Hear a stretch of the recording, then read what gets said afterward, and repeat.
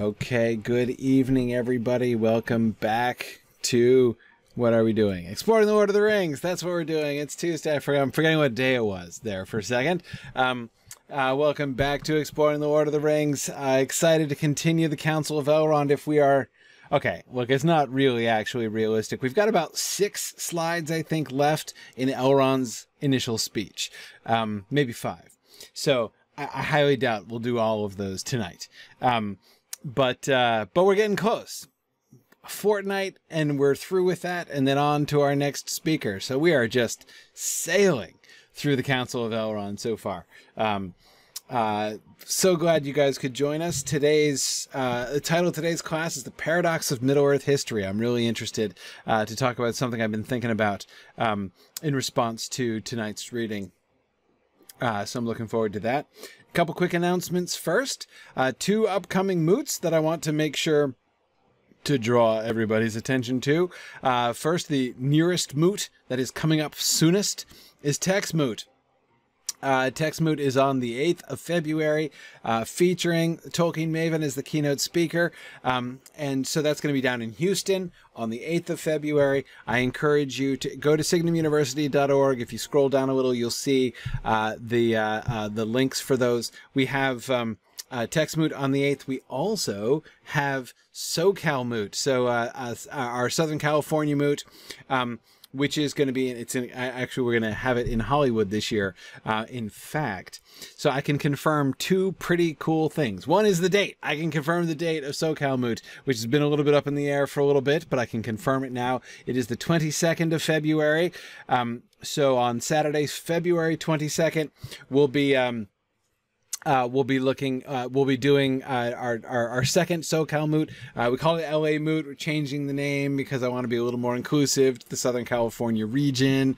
Uh, so, uh, so that's happening on the 22nd. But here's the other cool thing the location of. Um, uh, SoCal Moot. Uh, that is uh, SoCal Moot is going to be hosted at uh, at Netflix actually. Um, so we're going to be uh, at the Netflix uh, headquarters in one of their screening rooms, and we're going to be discussing adaptation and discussing things there. So that's a, a, really fun kind of immediate context for some of the discussions that we're going to be having. so I hope you can join us there. Um, uh, we're having a, the the I think the registration site for that is not open yet, but it's we're getting there. I just wanted to make sure to mention it uh, to uh, to save the date. For Thoughtless, yes, Dave did make that happen. So uh, uh, that was uh, Dave. Dave Dave worked that out for us.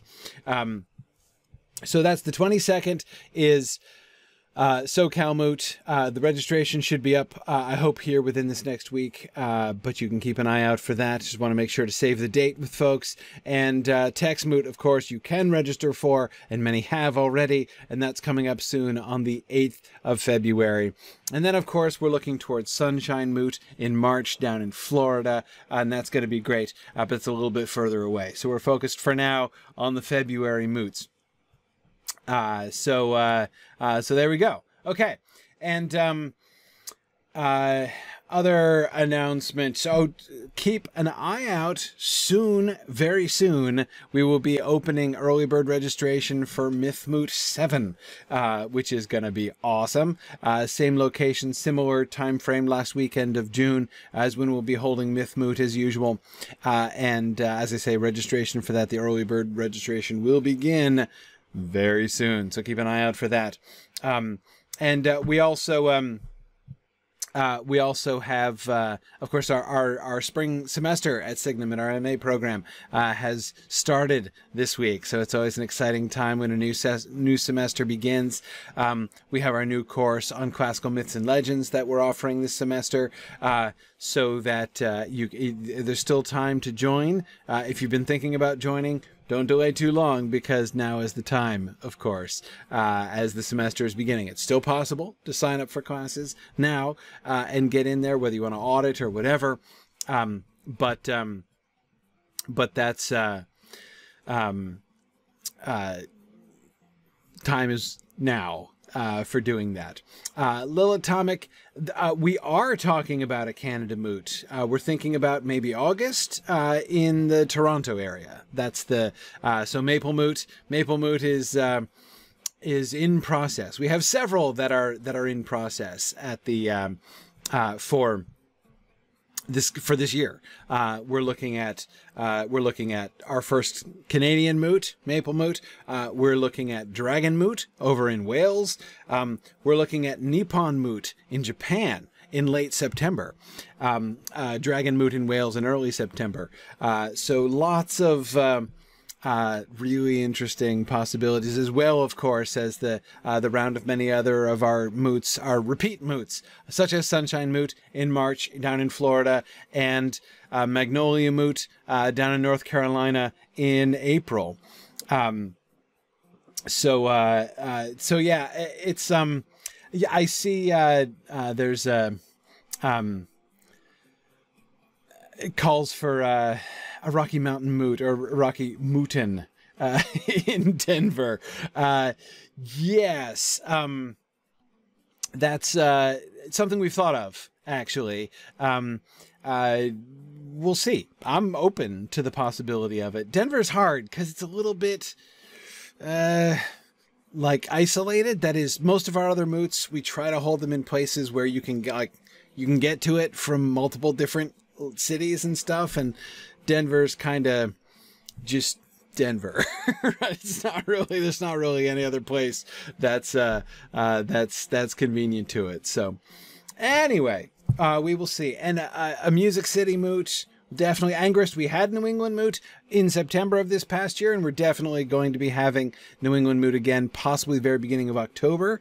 Um, somewhere around there. Um, that's definitely going to happen again uh, this this uh, this this year, this calendar year as well, of course, as do Middle Moot will be back in uh, in uh, Kansas City in October. Uh, Moot, uh, I believe, is going to happen again out in the San Francisco Bay Area. Uh, so uh, lots of moot activity. Um, exactly, Tora Martin. That's my fear: is that a Denver moot would be more of a lonely mountain moot. Uh, yeah, who knows?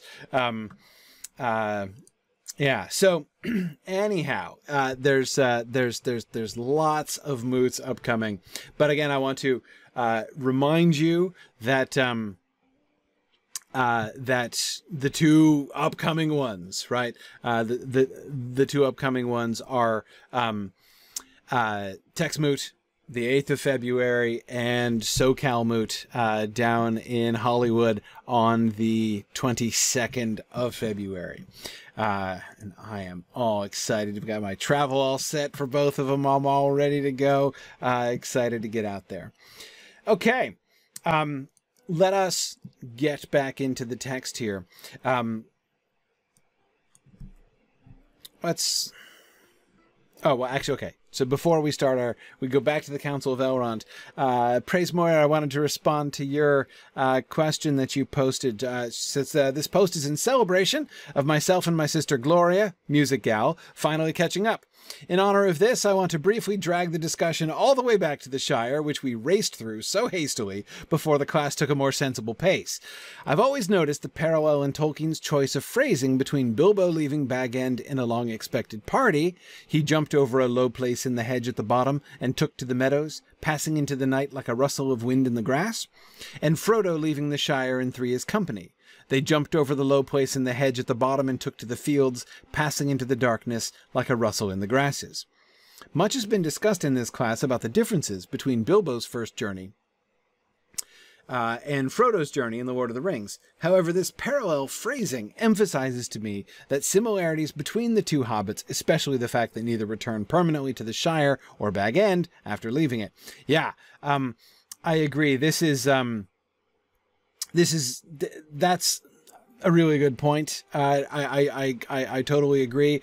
As for the larger point uh, about the parallels, um, first of all, don't you get the sense that like that low place in the hedge is like where they always went, right? Like, you know, one of those places where like the people who live there never actually use the main road, right? It's like the shortcut they take so often that there's probably a path, right, uh, across the field. Um, but um, Anyway, uh, that's yeah. JJ says there's a reason it's low, right? Yeah, probably so. Um, but um, anyway, the larger point that I would say, uh, praise more in response to uh, to that is uh, you're absolutely right, and a lot is made. I mean, Frodo. I mean, I, have been kind of following Frodo and Gandalf, you know, in their discussion in chapter two, in emphasizing the differences between the two of them. Um, you know, Frodo's famous speech about, you know, there and back again. He, you know, uh, goes to to lose a treasure, right, and not return. All those sort of gloomy contrasts, right, that he was making to uh, uh, to Bilbo's quest, and those are all certainly true. But remember that in addition to this passage, which I agree is quite uh, purposefully similar, right? It would seem. Um, apart from this, you even have the the passage. Remember that in the almost in the very moment that Frodo is contemplating how different his quest is, his journey is from Bilbo's, he is the narrator tells us that he feels swelling up within him a desire to run out without his pocket handkerchief like Bilbo did years before, right? That desire for adventure, um, uh, that uh, keen interest in. So like he's he's he's aware that his journey is going to be different, and yet even he is sort of struck by the, the the similarities as well, the parallels as well. And Kurtzimus, yeah, of course, the the the repetition of the road goes ever on poem certainly uh, again very forcefully reinforces that. Now we, it's easy to make a big deal about that that one word difference, which is an important difference, right? The pursuing it with eager feet from Bilbo and the pursuing it with weary feet from Frodo. That's a that's a very conspicuous change, but at the end of the day, it still is only one word, right? They still are singing the same song. They still are having the same, you know, and Frodo even feels like he's making it up, right? Uh, certainly not merely um, uh, recalling it. So, um, anyway, I, I agree, but I, I, the the thing that I would say even beyond that, kind of taking a, a step back further from that and thinking through the implications of um, the parallel between them. Like so, obviously, okay.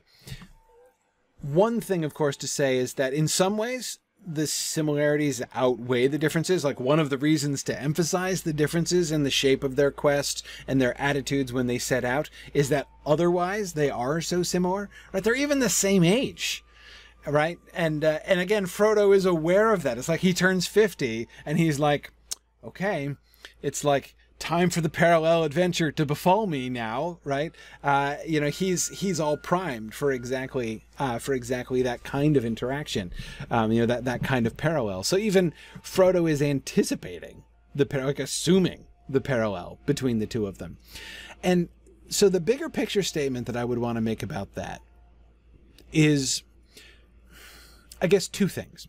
One is we can on the one hand, say that going back to Gandalf's words, right? Remember how Gandalf says that um, he can make it into the, the line I always tease Gandalf for, right? He can say it no plainer than to say that Bilbo was meant to find the ring and not by its maker, in which case you also were meant to have it, and that may be a comforting thought, though Frodo does not indeed find it comforting, right? But again, to take Gandalf's larger point there, right? Is that um, there is some other power that is shaping things. And even if we go back to The Hobbit and we think of all of the emphasis on luck, and then of course the the final at the very end of the book, Gandalf's statements about how you know uh, uh, you know the the luck is not just luck, and and that all these things were not just done uh, for Bilbo's own benefit. Um, our attention is drawn at the very end and, and again throughout if we're paying attention as i tried to argue in my hobbit book um, that you know Bilbo is being guided here. Bilbo is an instrument, right, of something else, right, uh, which we're not told exactly what. Um, uh, who is undertaking this, right? So, um, Bilbo has his adventure not by chance, right? Uh, and the opportunities that he's given whether it's finding the ring or uh, you know discovering Smaug's weak weak spot or whatever, is um, uh, you know, these are all opportunities that have been sort of provided for him. His choices matter. That's one of the things that I find so interesting about The Hobbit. This is not just a, a fate story. It's not just a destiny story. Um, uh, Tolkien is really. Um, uh, Tolkien is is really even-handed in thinking about both the way in which Bilbo's story has been kind of ordained, right, and, and shaped by fate, but also how his own choices have legitimately impacted it, right? I mean, this is something. It's it's it's really both of those things operating together. Um, and so here's Frodo. Frodo knows this story, right? And I think that Frodo knows this as well. That his, uh, you know, his Uncle Bilbo's adventure was not um, just a random adventure, right? So Frodo's anticipation is not just superstition, right? I mean, it might be otherwise. Be like, well, Bilbo was 50 when adventure came to him, and I've just turned 50, so maybe adventure will come to me. Like, if I thought something like that, you know, about something that happened like to my father at some point in his life, and when I turned that age, be assuming that that same thing was going to happen to me. I mean, that's that's just kind of magical thinking, right? That's just uh, that's the way superstition works. Um, but that's uh, but I don't think that that's what's going on with Frodo, right? Um, there is a sense uh, that uh, Frodo knows right, that there is like a calling on him, right? That he has a purpose. Bilbo, of course, was completely taken by surprise by his calling, right? By his adventure. He had no idea it was coming. He didn't even know it was happening after it had begun, right? Um, but he has had time to process that now, and Frodo has had time to process uh, the significance of his uncle's adventure, right? And so, when he is anticipating adventure, it is much more of a, uh, much more of a of a sort of deliberate thing, right? Like he is aware of the fact that there may be some purpose upon him, that there is some calling upon him, that adventure is going to come upon him, not necessarily not as out of the blue uh, as it did upon uh, Bilbo because he's forewarned, but that he's kind of preparing for that. Um, one of the things that I would point to here, Tolkien didn't often talk about this but he did talk about it a couple times. This idea of uh, a calling being upon them, and he when he talked about it, he talked about it in the context of answering a question about why Bilbo and Frodo were bachelors. Um, the text, of course, observes that Bilbo and Frodo were, as bachelors, quite exceptional, that it was unusual for hobbits to remain unmarried throughout their lives right? And when Tolkien explained, why, when somebody asked, why, why, why, why don't they ever get married? Why does neither of them? Why doesn't Bilbo settle down finally, right, and get married after he returns? He, he could have done, presumably, right? Um, and Tolkien's answer is that like neither of them. There was something, right? Some kind of, and not something necessarily even that either one of them consciously understood right? But both of them had this sense of like holding themselves in readiness, right? Think of Sam and Sam's situation when he comes back home and gets married, right? He gets married to Rose, and this is a great thing, but of course he's very torn in two, right? Um, when the need to go and do something, even a smallish thing, uh, like um, uh, like accompany Frodo on his last journey, even though that journey is not going to be nearly as long as the previous one was, right? It's hard for him to do it, right? Because he's he's torn in two. He is tied to the Shire. He is he has undertaken responsibilities. I mean, he's gotten married. He's sworn oaths, right? That's what you do. That's what a vow is when you get married. Um, so, and that both Frodo and Bilbo, Tolkien says, have some kind of sense, you know, that um, that it's important for them to um, not do that, right? Uh, for them to not be tied in that way to you know it, it, it, to, to to be free to go. And Kurtzimus, yes, it is like a Catholic priest, and I do think uh, that Tolkien's uh, uh, uh, Catholic religion influenced this.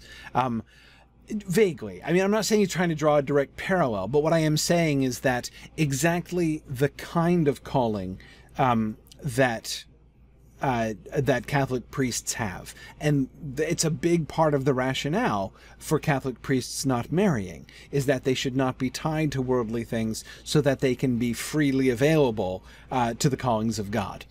Um, and that is again, so it's it's not an exact parallel. He's not trying to say that Frodo and Bilbo are priests, but he he does suggest a, a, a, general kind of similarity between those um, um, between those that sense of that sense of calling. Um, but again, he emphasized that he um, he emphasized that they didn't neither one of them was deliberate about that. Neither of them made the decision. Neither of them were like, maybe I'll get married. No, I shouldn't get married. I should I should make sure I stay a free agent so I can pick up and leave the Shire if I need to. Neither of them consciously went there. But neither of them also neither of them had the the uh, the the impulse right to settle down right and get married and start their own families and stuff because for some reason they felt that they needed to be they needed to be free. Um, so anyway um, that's uh right, Matt Violina says things would have been different if there had been a fairy wife in the offing. You know, can't rule that out. You know, that kind of thing doesn't come around by chance either. You know, so uh, um, yeah, yeah. Um, uh, anyhow, so so that's um, that's coming back, uh, Praise Moyer, to your question here that I think is the biggest parallel between the two of them. You know, that both of them, eh, you know, Bilbo unconsciously, but Frodo very deliberately, right? Of the two of them, Frodo is the one who does clearly feel, I, there seems to be in Frodo evidence for some kind of a conscious sense of a calling on him, right? Even that, that, that line about thinking about the significance or, or ominousness, right, of his turning 50, um, suggests that he has this sense like, this is, it, it's going to fall upon me too, right? I also am going to be asked to do so. And he, he kind of wants that. Part of him is seeking that, but part of him is afraid of that. Um, so, uh, anyway, I, um, I think that we can see that, and even even his response to Gandalf at the end of chapter two. Remember when Gandalf says, "I didn't expect such an answer even from you," right? Um, meaning he thought really highly of Frodo, but Gandalf found Frodo to be much more readily reconciled to the journey, right? The idea. I mean, clearly Gandalf thought, although he had high respect for Frodo, it was going to take a lot of convincing, right? To convince him that he needed to leave the Shire and give it up for good and go away. And then instead, here he finds, um, here he finds Frodo ready to go, primed and ready to go, right? He's not like 100% enthusiastic about it. He's he's there are lots of things that he's nervous about, but again, he he quick you know that's why I, I, think that's what we see in the swiftness with which Frodo says um, you know when Gandalf says have you decided um, you know what you ought to do? And he says well I have to leave Bag End leave the Shire. And you know you know he's like yep okay like it's on right? That's it. Um, so um, yeah yeah um, yeah good I'm seeing the uh, questions about um, uh, parallels with uh, Tolkien's military service. Uh, yeah, he did volunteer. Yes, it is true, um, uh, Scudo, that uh, to not to volunteer in the you know the outbreak of World War One was a tricky business. Um, so it's it's a little um, um, it's not quite a parallel. I don't think.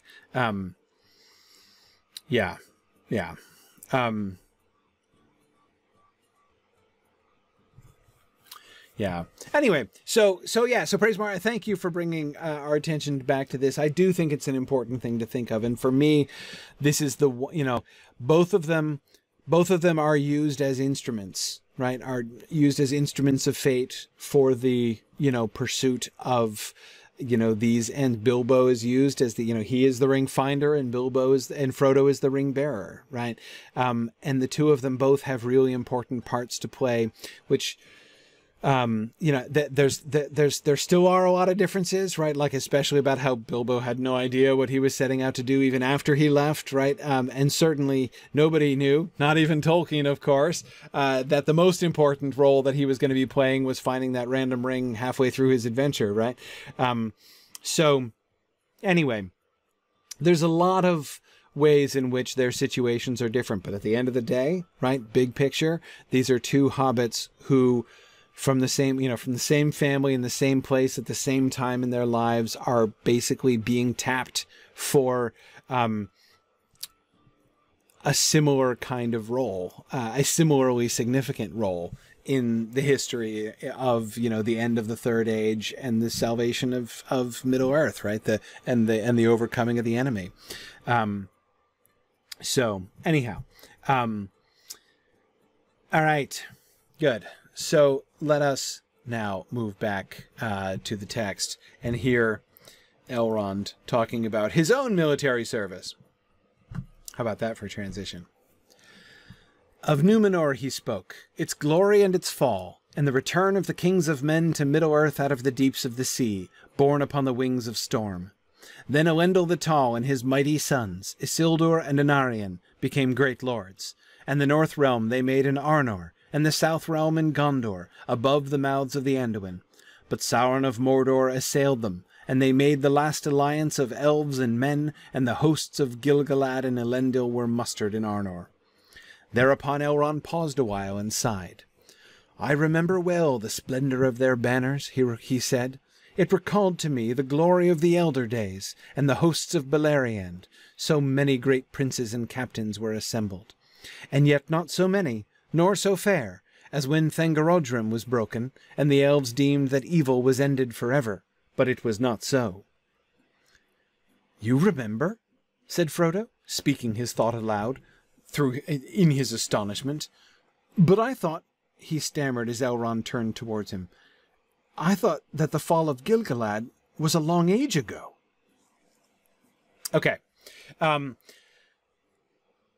so First, back to his synopsis. You'll remember that in the previous passage that we ended with last week was when he was giving the full history of the ring lore, right? And he talked about Sauron making the rings and deceiving others, and uh, uh, and and about Celebrimbor and the war and the killing of Celebrimbor and the shutting of the gates of Moria, right? All that stuff, right? Um, then he segues to Numenor, its glory and its fall, and the return of men to middle the kings of men to middle earth out of the deeps of the sea. And that has to be the shortest synopsis of the numenor story ever right? Of numenor he spoke its glory and its fall right? Okay there we go. Um, that pretty much settles it. So what are we emphasizing right? He only emphasizes two things. So try, try to try to I, I want to follow along with this here because of course he's going to be segueing to be talking about the Numenorean realms in exile in a good deal more detail after this, right? That's sort of the next, um, uh, the next stage, right, in his narrative. Um, clearly, we are only interested in Numenor for the sake of its backdrop to the kingdoms of Arnor and Gondor, right? Um, of course, if he was telling the whole story of, of Sauron and Sauron's long history of quest for dominion over Middle Earth, uh, you know, he would probably have emphasized Sauron's role in the fall of Numenor and um, and Sauron's own discomfiture, perhaps uh, therein. Um, but he um, he doesn't emphasize. We, we don't get him emphasizing those things, right? That's not what's emphasized to us there are only two things that we learn about Numenor in this passage. And you remember, this is something we've been tracking, right? We've been going back and, and, and looking like how many times has Numenor or Westernesse been mentioned? And we, we've been realizing in our conversations in the Hall of Fire that we really don't know very much, right, about Numenor. And here we're only told two things about it, right? It was glorious and it fell. That's it. That's all we know about Numenor from this uh, passage and, and the return of the kings of men to Middle Earth out of the deeps of the sea. The return of the kings of men to Middle Earth out of the deeps of the sea. Um, that is a really interesting phrasing on the part of, um, well, not Elrond necessarily, but of whoever our narrator is here, who is paraphrasing um, Elrond's speech, right? On the one hand, Kurtzimus, yeah, I mean, it's literally true, right? They left Middle Earth to, you know, the Edain left Middle Earth and went to Numenor in the first place, so they are returning. Um, but, okay, so this is, this strikes me particularly forcefully because we've just been studying the Notion Club papers in our Sauron Defeated class that we did last year, right?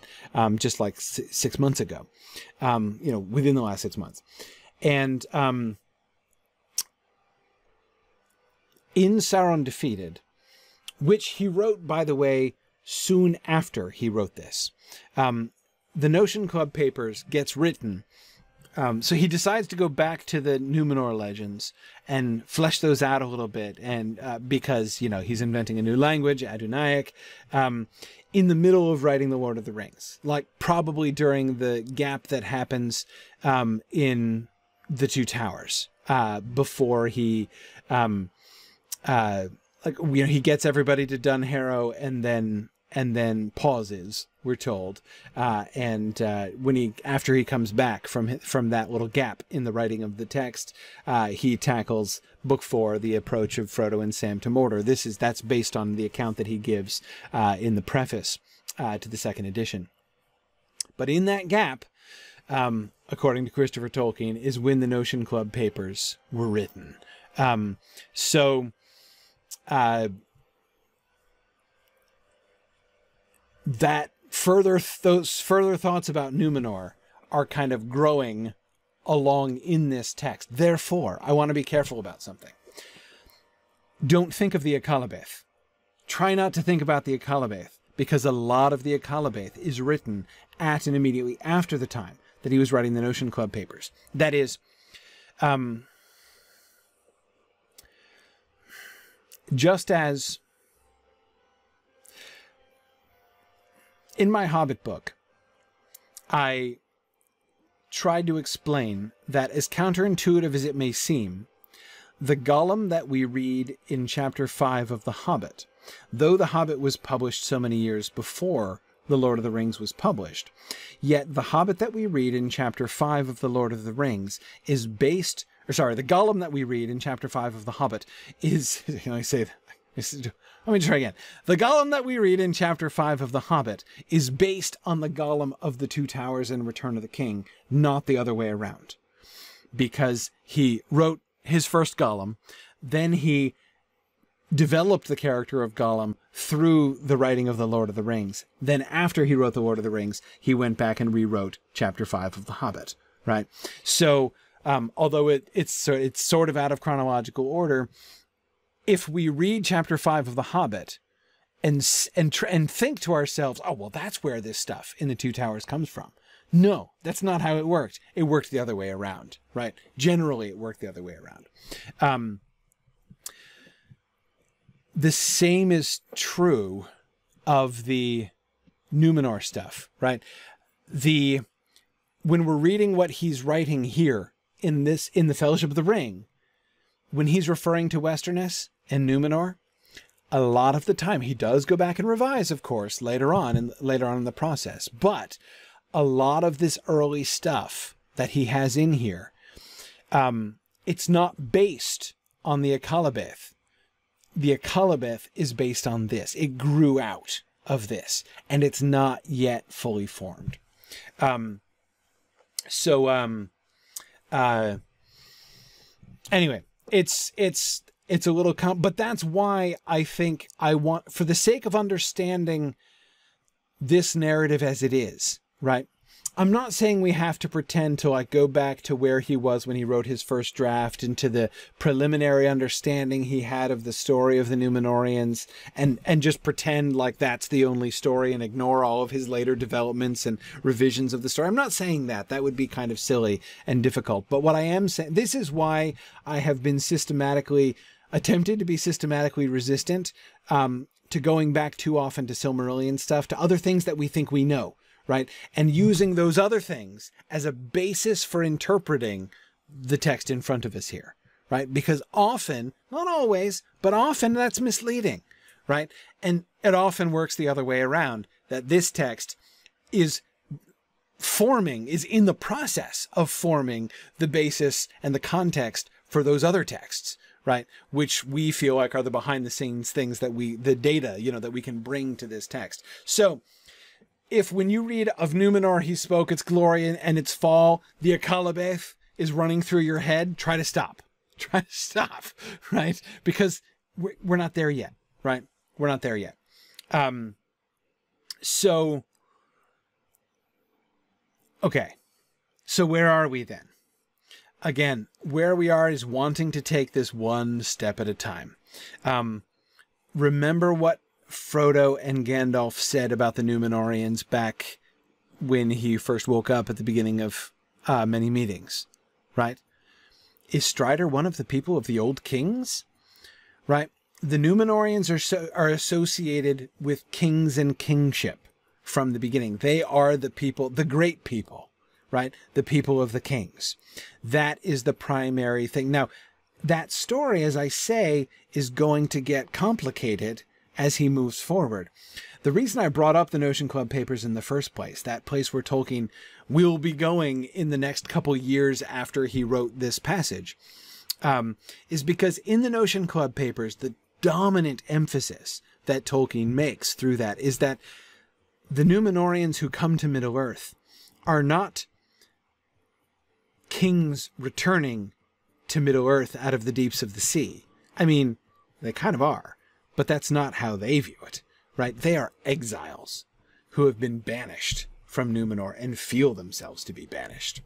Um, uh, so the whole like tone and spirit of the Numenor story is going to be growing and changing um, over the next couple years from here, right? So to me, this is one of the reasons why that phrase, the return of the kings of men to Middle Earth, feels to me so significant, right? So important because, well, it's important, right? Uh, this is what we're being asked to associate it with. Now, remember, it does have a fall, right? It does have a fall. So we know something went wrong. We know that the story of Numenor is not just a happy story from one end to the next. Um, but if we take the um, if we take the three things, right? Because I guess you could say there are three things its glory and its fall and the return of the kings of men to Middle Earth, right? We got the glory and the kings of men. And then sandwiched between them, we have the allusion to their fall, right? Um, yeah. Rinroos, that's why I found it so striking. Um, and it was I was talking I talked about this during um, our Sauron defeated class when I was when I when we were going through that that for me going through Sauron defeated uh, which meant both the Notion Club papers and then uh, the drowning of Anadune uh, immediately afterwards the experience Rinroos that I was continuing to have throughout that discussion was um, reorienting myself because that's exactly how I had always dominantly seen them. I mean, I, I, I, I, I what I took from the Lord of the Rings, certainly as a kid, was that the Numenoreans are the faithful ones, right? The Numenorean, like the the the, Ar, the Arnorian and Gondorian uh, Numenoreans were the good guys, right? And maybe they weren't totally innocent of the fall of Numenor, you know, but like they were um, the ones who were being rewarded right, for their faithfulness, by their survival. Um, but Rinrus, that's what was so. I mean, it was very striking to me uh, last year when we were reading through it. Was how powerfully uh, Tolkien is emphasizing um, they feel themselves to be lost. They feel themselves to be exiled. Numenor has been taken for them, and here they are on the shores of Middle Earth, staring off to the west, having lost their link back to, you know, having had the door of the west slammed in their faces and having their home taken away from them. And whatever they set up in Middle Earth, you know, the kingdoms that Elrond is going to go on to describe were not just second best, right? They were, um, they were,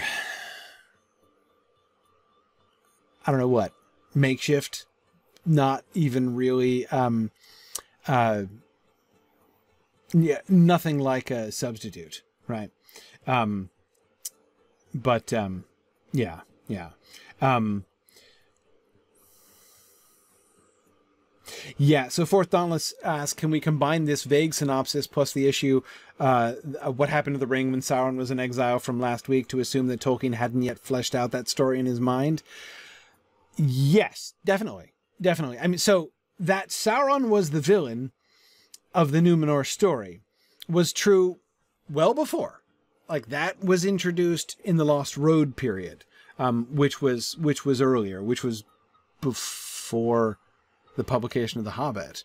Um, uh, not before the writing of the Hobbit, but before the publication of the Hobbit. Um, but um, yeah, yeah. Yeah, Rinrus, I don't know if I can quite convey it to you without uh, the passages and the laments uh, uh, of uh, of the Numenoreans and that, that experience of they are not um, they do not feel themselves to be lifted by the hands of the Valar and preserved in safety to Middle Earth.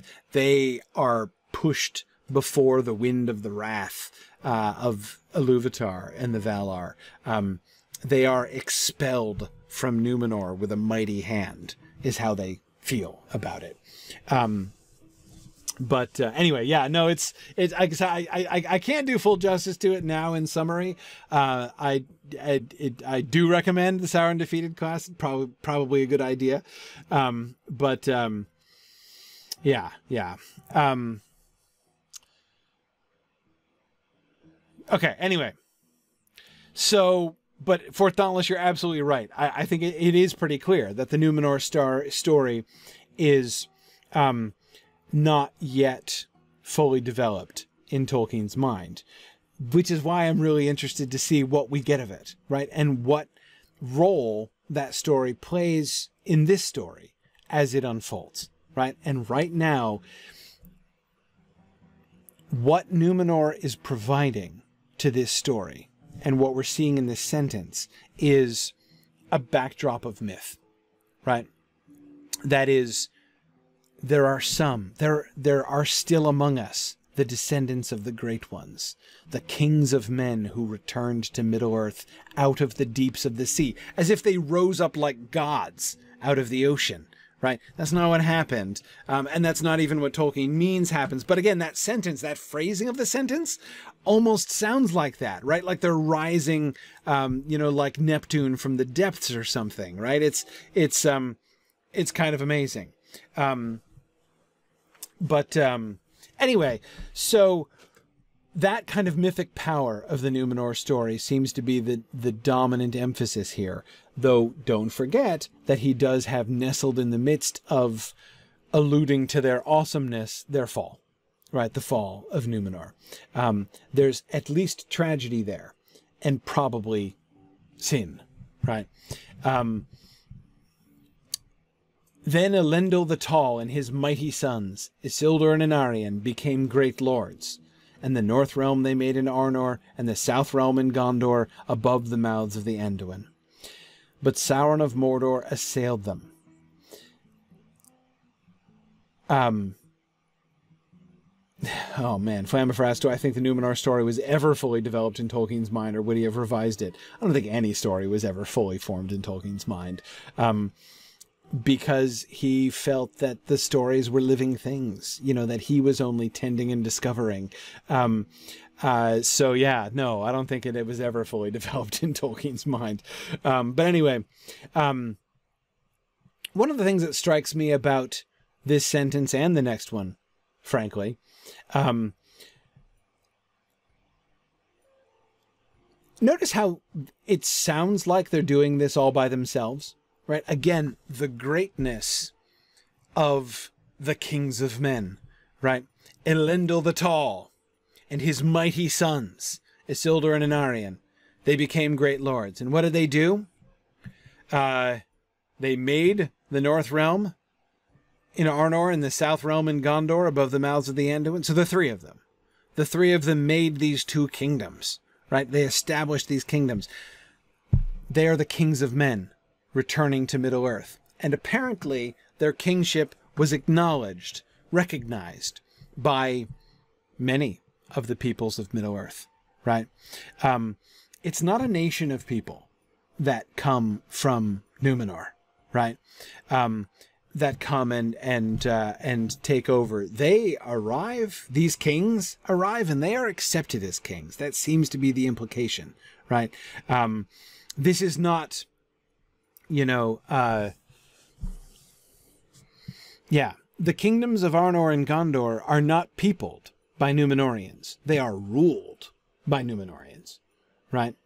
Because it's it's like the three of them are do, are doing all these things, but Sauron of Mordor assailed them, the kingdoms, you know, but also like the three of them, Elendil, Isildur, and Anarion, right? Uh, versus Sauron. So they made the last alliance of elves and men, and the hosts of Gil-galad and Elendil were mustered in Arnor. This is the first allusion to Elendil not just being on his own. He's he he does have an army. It turns out. Um, uh, yeah. So yes, they Turambar they made um, they made the alliance. Um, presumably, Elendil and his sons made the alliance. So it seems to be initiated by them, right? Um, yeah. Exactly. Um, JJ, this is similar to Thorin returning to the mountain, and I, I, think it's a really important point to keep in mind when we read The Hobbit. Um, um, a king is he who can hold his own, says Turambar of many names. Yeah, yeah, exactly. Um, and, you know, you are absolutely right, um, uh, Praise Moyer, that it, people have to follow you right? You're just a madman, as you say, if you just go, you know, um, uh, you know, you can't just call yourself a king, right? Um, uh, absolutely. Um,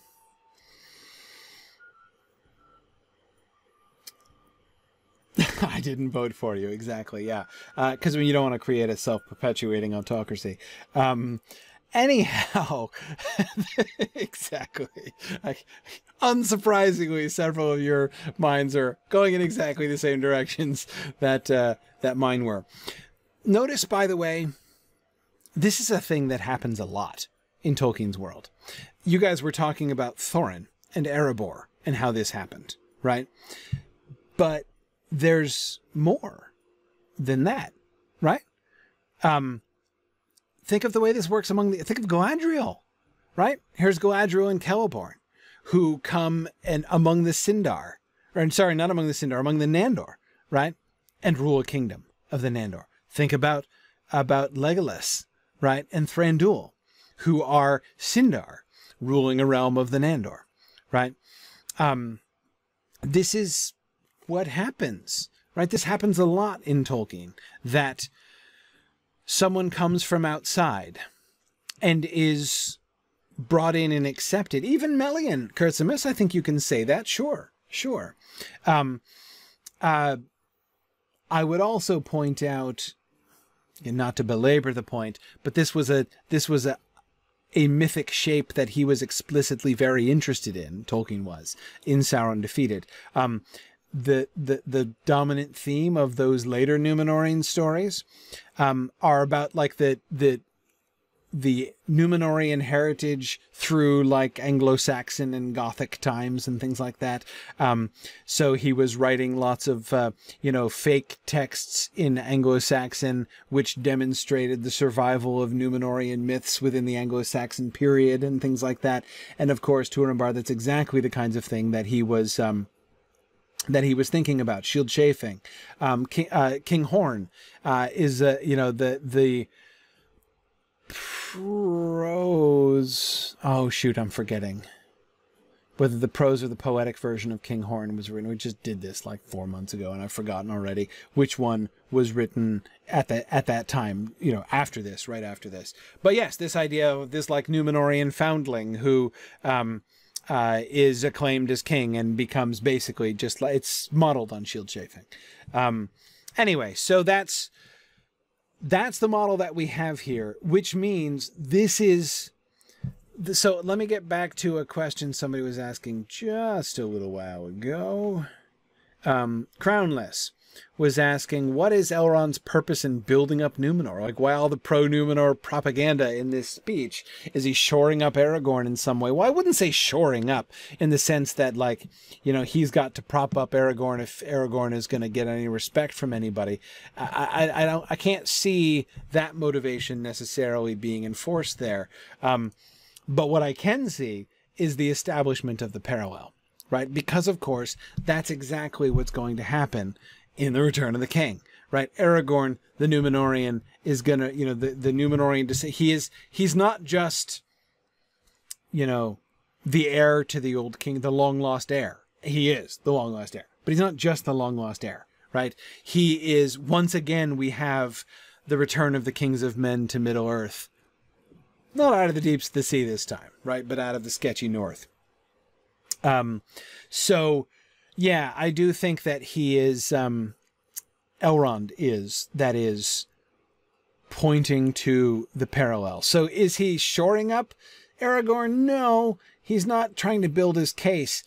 Is he perhaps trying to lay the groundwork so that Boromir is prepared to contextualize the revelation that is coming and which he, Elrond, knows is coming, um, Elrond is going to be at least as aware as anyone in the room of the challenging situation that is about to happen, right? Uh, he knows who Boromir is, right? And although he's downplayed it in his introduction, he knows who Boromir is. He knows the significance of what's about to happen here, right? Um, the fact that Aragorn is the heir of Isildur and that he's going to return to Minas Tirith and, if all goes well, claim the kingship, that's important news, right? And if there is any human being in Middle Earth who is likely to be displeased to hear this news, it's Boromir, right? Denethor, yeah, but I'd count him behind Boromir, actually. Um, uh, again, as far as potential, Elrond has got to be anticipating. This could go badly, very, very badly if I'm not careful. So I do suspect that one of the reasons that he's doing the Numenorean story um, uh, here and, and emphasizing it in this way is that he's preparing the way uh, for the revelation of Aragorn's lineage that's going to happen uh, afterwards. Um, let's see. So, Fourth Dauntless says we could also take this as evidence that is the pumping up of Numenor, as evidence that the passage was uh, written or edited by Findegil King's scribe. Um, yes, it's possible. But it doesn't sound like his tone. Eh, a little bit. Maybe. Maybe. I could buy it. I could buy it. Um, like, so the idea, right, would be what Frodo wrote was um like of Numenor he spoke you know and uh like Um,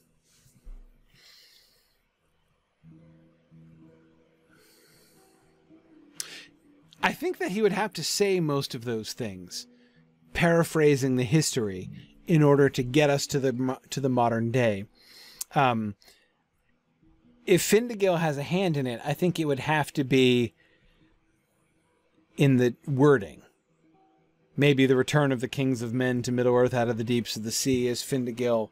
Um, maybe like the mighty sons thing, right? Um, uh, you know, maybe Frodo just wrote, uh, then Elendil and his sons Isildur and Anarion uh, established the North Realm in Gondor and the South uh, in Arnor and the South Realm in Gondor above the mouths of the Anduin, um, and you know it got uh, amped up a little bit by Findegil, King's writer.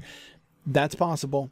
I mean, it's conceivable that that happened. I don't feel like that's necessary. The times when we have suggested Findigilian intervention in the text have been where there seems to be a real shift, where a, this one sentence is just tonally in a totally different place. Like that moment with Arwen. Remember that description of Arwen's sentence that we were feeling fairly confident was Findegil pitching in, right? Um, this doesn't feel that way. This seems to be in keeping with the the, the spirit of the summary that we've been um, that we've been receiving. I think. Um, so uh, yeah, so Tymdal F- Findegil would be after Frodo. So remember, so Findegil, King's Writer, makes a copy of the Red Book after uh, Pippin brings it to Minas Tirith, right? Um, so, so yeah, it would be um, uh, his, his his would be the latest. So the full text. Frodo's already gone. Frodo's Frodo's not even in Middle Earth anymore. Uh, when Findegil, King's Writer, uh, comes at it. Um, yeah, yeah. Good. Yeah, Matt says he wrote earlier about how the Kings of Men returning line will justify Aragorn's wars of conquest following the War of the Ring, justifying the the disposing of the lesser illegitimate kings who swore fealty uh, to Sauron. Yeah, yeah. No, that's true. That's true. Um, yeah. Um, Arden Cran says if events hadn't brought him to Gondor, would Aragorn have planned to eventually introduce himself as the heir? Yeah. I mean, he's. Uh, well, okay. I guess it depends on what you mean if events hadn't brought him into Gondor. If by that you mean if the ring had not been found and the War of the Ring begun, would he have done it? No. Just like his dad didn't do it, and his granddad didn't do it, and his granddad didn't do it, and his granddad didn't do it. They were all the heirs of Elendil and knew it, right? But none of them made a move. So there have been a lot of chieftains of the Dunedain in the years since the throne of Gondor has been empty, and not a single one of them came forward. Right? No, no, no, not Arvedui. He was king of Arnor. I mean, chieftains of the Dunedain. Right? Roughing it in the woods after the fall of Arnor. Right? None of them did that. None of them came forward. Why, Tim? Because the time was not right. Um, remember that it was spoken of old. I say remember, we've not gotten to the passage yet. It will come later in this chapter. That it was spoken of old that the sword of Elendil should be reforged when Isildur's bane is revealed, right? They have what appears to be a um, a family tradition, right? Pre- presumably informed by the wise, uh, that the restoration of the kingship in Gondor, the restoration of the line of Elendil, is tied to the fate of the ring, and should wait. It is not, the time is not right for them to reveal themselves yet. So, so if that is the question, would Aragorn have done it had everything remained quiet? No, he certainly wouldn't have. Again, any more than Arathorn did.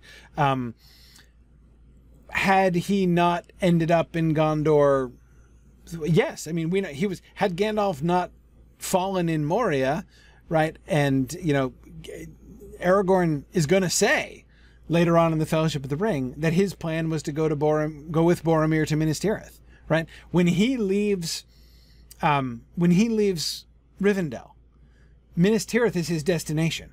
That's his plan from the beginning, because he believes that the the dream uh, is a sign and a summons to him that the time is right, the sword is reforged, it's time to go, right? So he is on his way to Minas Tirith. Um, but of course, he ends up getting there in a strange way. But yes, yes, exactly. Um, uh, yes, you're right. It, Aragorn doesn't say it in direct uh, dialogue. The narrator tells us that Arag- that it was Aragorn's plan. But um, um, but yeah, yeah, we uh, we know that this um, um, that this happens. Green Great Dragon says, Would Thorongil have happened if Bilbo hadn't found the ring? Oh, yeah, sure. Sure, yeah, no problem.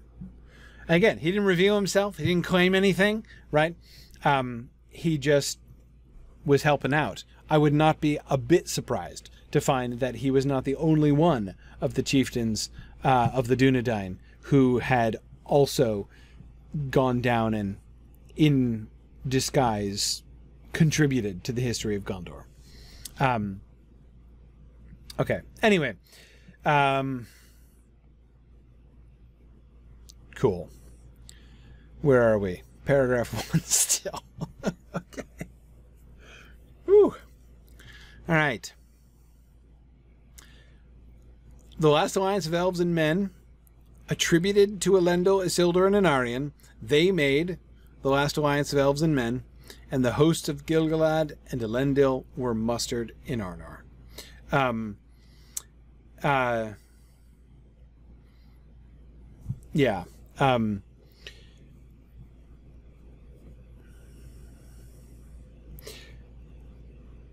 notice what that suggests. Again, just the fact that Elrond is crediting Elendil and his sons with initiating the last alliance.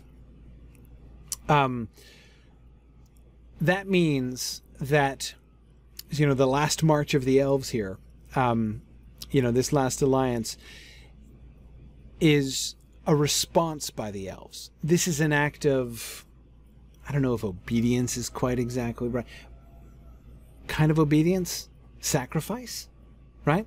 Um, yeah no no the point isn't that it was a completely unilateral alliance to Umbar. the elves agreed right? But the point is that it was Elendil who initiated it, right? He came to them and proposed the alliance. They didn't go to him. So this was not the question of Elend- of Gil-galad recruiting Elendil to assist him. It was the other way around. Um, and that strikes me as significant, um, as quite significant, because the elves who are still remaining in Middle Earth, they're just they're a small group remaining, right? Um, they know that their time is passing, um, but they respond to the call of Elendil and his people. They acknowledge this is this is the time, right? This is when this should happen. Um, uh, yeah, and yes, you're right, Luke, that they are kin from afar, right? Um, so it's it's this is not like them. My, my argument is not that Gil-galad deserves props for, you know, putting it out there, even though he was just asked by this random dude, right? Elendil is in all ways not a random dude, right? Um, he, who he was coming from Numenor, uh, the Numenorean relationship with the elves, uh, the um, the distant relationship between uh, Elendil and um, you know Elrond himself. Um, all those things are relevant in everything. But again, my point is simply this is not the elves' war against Sauron, in which the Numenoreans assisted them. This is the Numenoreans' war against Sauron, in which the elves came to their aid.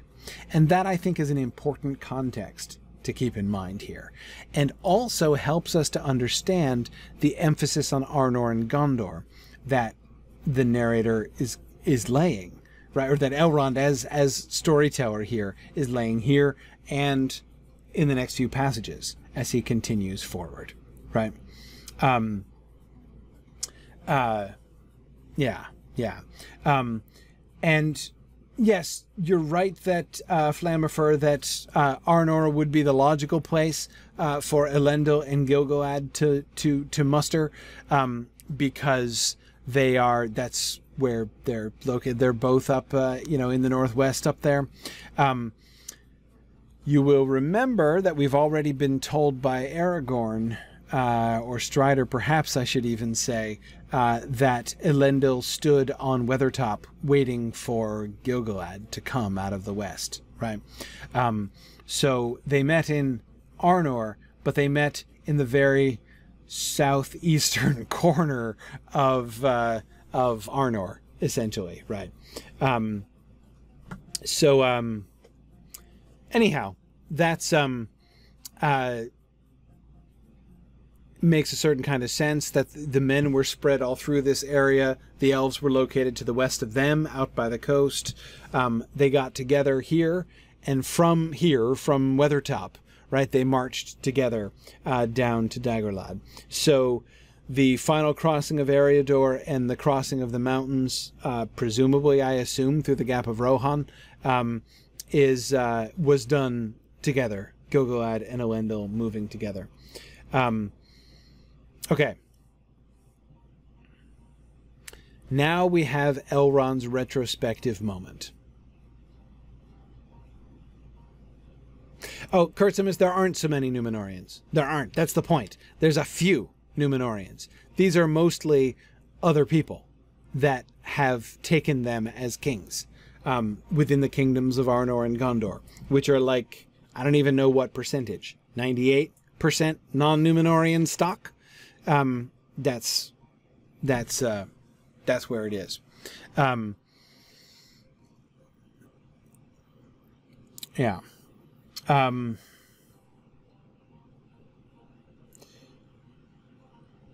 okay. Let's see. Elrond's retrospective. That's where we were. I remember well the splendor of their banners. It recalled to me the glory of the elder days and the hosts of Beleriand. So many great princes and captains were assembled, and yet not so many, nor so fair, as when Thangorodrim was broken, and the elves deemed that evil was ended forever. And it was not so. Okay, this is um tricky, right? This is complicated, what he says here. Um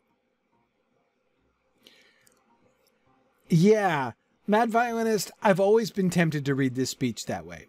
Mad Violinist says, back in my day, right? And it, it begins in that, um, it seems to begin in that line, right? Um, like, is Elrond just bragging here, right? Is Elrond just building himself up uh, by being like, needless to say, I was an eyewitness to these things. I was part of that army, right? In fact, don't want to boast, but I was the herald of Gilgalad myself, and you know, um, like it's, it could be building himself up, right? Um, like this, what would appear to be sort of egregious going out of his way to like name drop, basically, right? Um, to uh, to insert himself, um into the narrative, right? Um, so I mean that's that's that's um, interesting, right? I mean it seems out of his way to do this. Um, okay, boomer says D May. yeah, exactly, exactly. Um, but the interesting thing is that although the very beginning sounds that way. I remember well the splendor of their banners, right? Sounds exactly like that tone, right? But at the same time, immediately afterwards, right? Immediately afterwards, he undermines it, right? On a couple different levels. Notice the first gesture that he makes so he's just been building up the last alliance of elves and men, right? He's been building up El- Elendil the Tall and his mighty sons, and and uh, the hosts of Gilgalad and Elendil, right? And he says, "I remember well the splendor of their banners, right? That was pretty awesome, right? Uh, the the the armies of El- of uh, Elendil and Gilgalad, that was a sight, right?"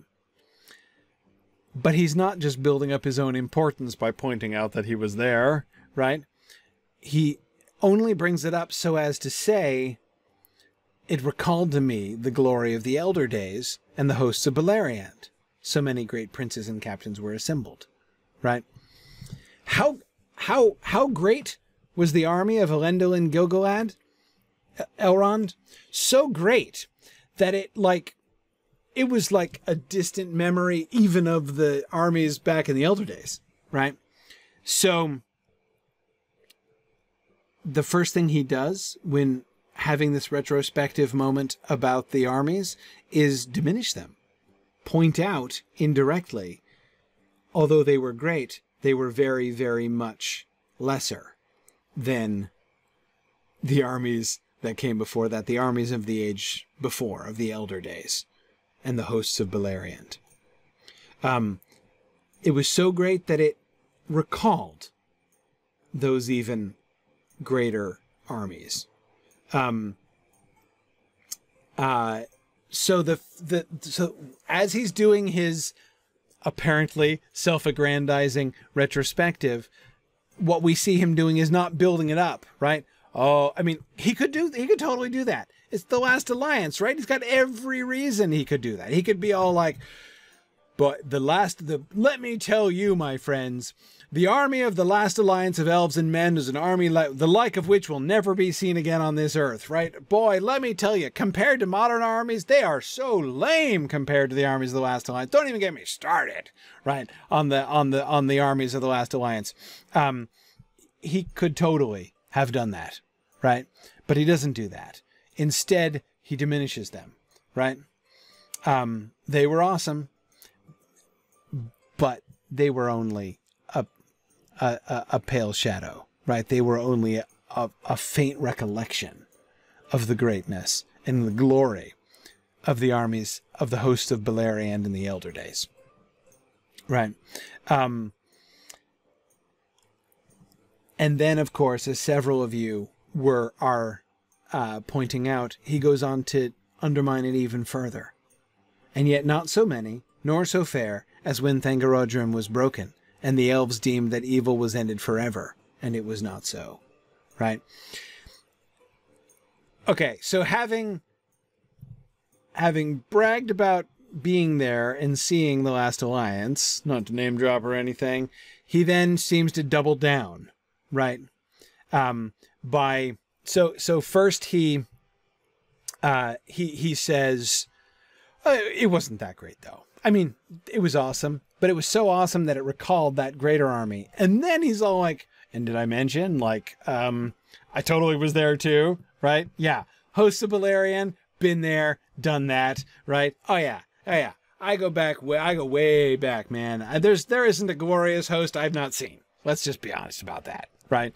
Um, so it kind of seems like, so was Elrond alive for the fall of Thangorodrim? Yes, yes, he was. He was there. He was. He was. Um, he was uh you know not didn't play a big role you know he was like uh, still an elvish teenager at the time functionally speaking um but um yeah anyway the point that he's going on to make though is not, he's not just building himself up more and more even though it may kind of sound like it, right? You know, Elrond trying to establish himself as the as the oldest of OG, you know, members of like you know the the glorious Battle Brigade.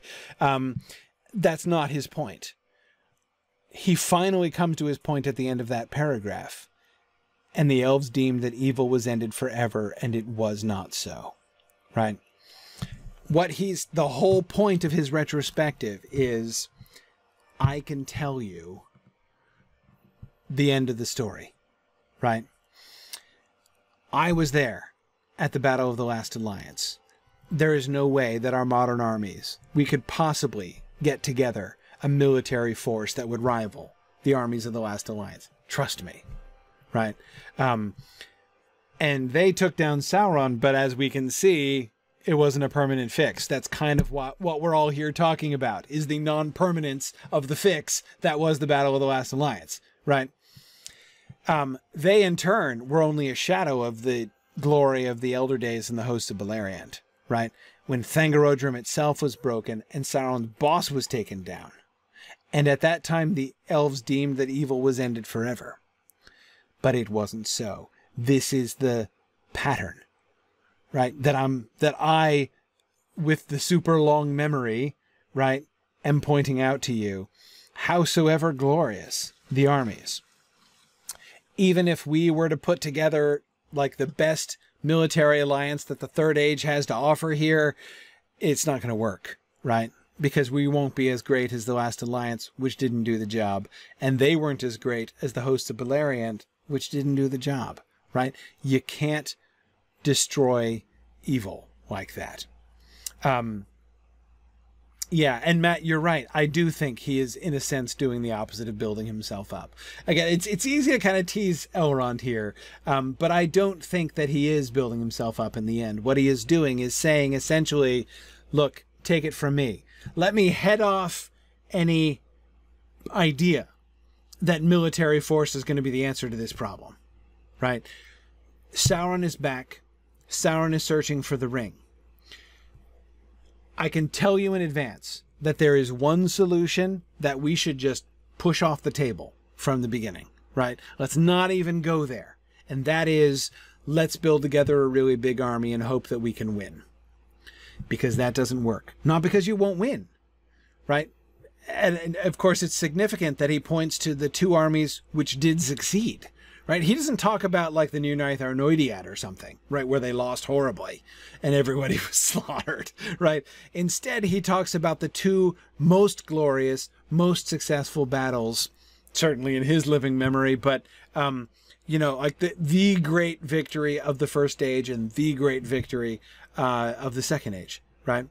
Um, and points out that neither of them won neither of them worked. So that even if here at the end of the third age we could achieve something like what they achieved, it wouldn't be enough. JJ, exactly it. So Boromir, before you ask, yes, is that seems to me exactly um, what he is emphasizing here. Um, it is possible for Thoughtless that he's also trying to attempt to head off the danger of trying to use the ring. That is possible. That is possible. Um, I don't. I don't see a very clear direct link. Again, I think it's conceivable, but I think that it's more likely that he is wanting to make it. And so I think that's why he pauses here, right? That's why he pauses here to um, uh, to do this um, this retrospective, right, and to insert himself into his narrative at this point. Um, not to glamorize himself, but to say, look, you've got to take this from me, right? If anybody knows both the capabilities and the limitations of military action, it's me. I've seen them both. I have seen the two greatest, most successful, most glorious battles literally in the history of Middle Earth. And I can tell you, it's even if it succeeds, it doesn't work. It doesn't work. Um,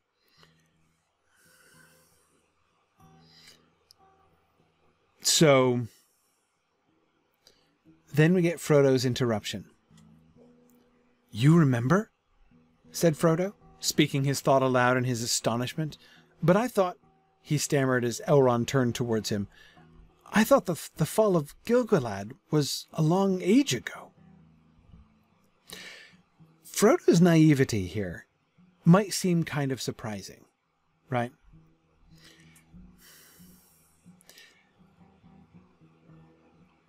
I think it's really important. This, I think, if we take it right, can really help to orient us in our understanding of the text. Because sometimes I think we can get too comfortable. Like those of us who have read The Lord of the Rings, you know, dozens of times over many years. We've kind of lived in this world in some ways, right? Like we've lived with it in any case. Um, it has become familiar to us. So we know these things. We know these things like trivia. We even know these things on a kind of deeper level, like the idea that Elrond, who is standing here uh, in the same room with Frodo as this scene is unfolding is the same dude who has been on Middle Earth for thousands of years and has seen all these things. This is um, uh, that that's it, it's a concept in the abstract that we're that we become comfortable with, right? Okay, yeah, naturally, right? Elves are immortal, so he's been there, no big deal, right? Um, but Lincoln, it's exactly that. Just because he realizes Elrond's age intellectually doesn't mean that he really understands it, right? Um, even think about the way that Elrond is talked about, right? You know, the guy who runs the last homely house, Elrond, the great lore master, right? It's one thing to be a lore master, and it's another thing to be an eyewitness to events 3,000 years ago, right? That's totally different. Um, yeah, and Kurtzimus, yeah, exactly. Saying somebody saying I, I, I remember when Jesus walked the earth would be shocking, right? But remember, from Elrond's point of view, um, you know, Jesus walking the earth would have been later than his midlife crisis, right? I mean, like that's only 2,000 years ago. Uh, you know, he's more than 6,000 years old. Um, so, absolutely. Um, uh, it would be like meeting someone who witnessed the siege of Troy. Fourth Dauntless, absolutely. Again, it's one thing to say, I know that elves live forever. It's another thing to really to, to have it borne in upon you that you are sitting next to somebody who met Achilles, right? Yeah, like that's that's like I that's um that's uh, but and I, I love the examples you guys are giving. Someone who witnessed the the the, the fall of Troy. Uh, somebody who can remember when the Epic of Gilgamesh was written. Somebody who helped build the pyramids. Right? Absolutely. Uh, all of those things um, are perfectly apt, and and that's just to the Battle of the Last Alliance. Keep in mind, right? Then we go back as far beyond that again right? You know, I mean, so, so like in terms of our human history, right? Here's here's Elrond being like, "Ah, oh, the Fertile Crescent. That was kind of nice, right?" Um, yeah, yeah, exactly. Um, uh, it's it's exactly someone who was there when Sumer fell. Yes, yes. Um, uh, Kursima says, yeah, the was kind of cool, right? Exactly. I mean, it's it, it it's it really boggles the imagination. Um, and that's what's happening to Frodo. His imagination is being boggled, right? Uh, as he hears about this, like that, just hearing somebody recollect about the Battle of the Last Alliance, um, to really, um, uh, to to really, uh, acknowledge the fact that, like, again, like this dude was actually there. Um, it's he's stammering, right? Um, and his statement, I thought that the fall of Gil-galad was a long age ago, is kind of lame. I think it's supposed to be kind of lame because he's, it's awkward, right? He's having this awkward where he's like, he's so shocked at the thought of this that he is, um, that he says this aloud, right? Um, he accidentally vocalizes this. Um, this is where it's really, as I say, when we become comfortable with this, when we live with Tolkien's world for years and we, we kind of think about it from the outside, we can lose our perspective like this. Frodo's reaction here is a really good reminder. This is not like, um, uh, this is not like, say, Ted Sandyman, right? If Ted Sandyman were sitting here, he'd be skeptical, right? Um, Fro- think about the difference between Frodo and Ted Sandyman, right? Um, Frodo knows the history. Frodo believes the history. Frodo's been taught all of these things. Um, what little Ted Sandyman knows about the great stories and the ancient legends um, is not very much, and he doesn't believe very much of it anyway. But he, Frodo's got the genuine scoop, right? I mean, he he learned about this stuff from somebody who knew Elrond, who had met Elrond on several occasions. So um, uh, it's it's um, it's he is well oriented to all of these things, and yet he is still flummoxed by this. The hobbits still live in this very mortal world where the Shire Reckoning, right, 1400 years ago, just seems almost impossibly remote, right? Um, and it's um uh it's this moment of this reality being born in on him of what the um uh of what the immortality of the elves means in general practice right um it's it's an important moment and this is what brought me to the idea of the paradox of middle earth history because there are two things that we have to remember and they seem to push us in totally different directions. And I think that we as readers tend to be guilty of favoring the one over the other. That is, reading The Lord of the Rings, there are two realities about history in Middle Earth that we should confront, right?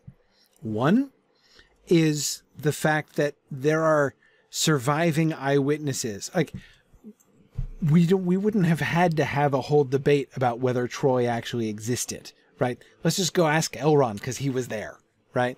Um, if there were still living eyewitnesses who retained crystal clear memories of those times in those, you know, a, a lot of historical inquiry would be unnecessary, right? Because we could just ask, right?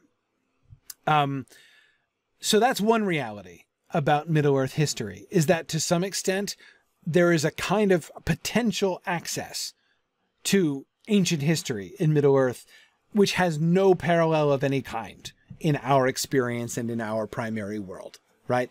There just are not any eyewitnesses who still live that we can talk to about these things. Um, so that's one reality and it and but again I, and this is the one that i think that we as tolkien readers tend to favor unfairly because and i think it's kind of natural that we should i think that we sort of share um frodo's wonder here and when we have that moment where we really wrap our minds around the fact that elrond has been there the whole time that he saw all of these things himself and then we think like, well, okay, so therefore, since there are living eyewitnesses who were there, Galadriel has been around that long, Elrond has been around that long, Círdan the shipwright has been around forever, um, so old he's grown a beard. Um, the uh, it's easy to start thinking. So therefore, there are few mysteries about the past, right? I mean, because again, like we we can know. Just ask them, right? They were there. They can tell. So we don't have to speculate. We don't have to do all of the like generations of scholarship speculating about what really happened. At the, you know, did Troy ever exist? Uh, you know, or not? Uh, we don't need like who who needs to try to figure that out? Just ask, right? Um, and we can be told, right? But here's the other side. So that's one fact about Middle Earth history the existence of very long lived eyewitnesses. But here's the second fact about Middle Earth history it's thousands and thousands of years of, a dom- of dominantly oral traditions. There aren't very many historians. There are almost no historians.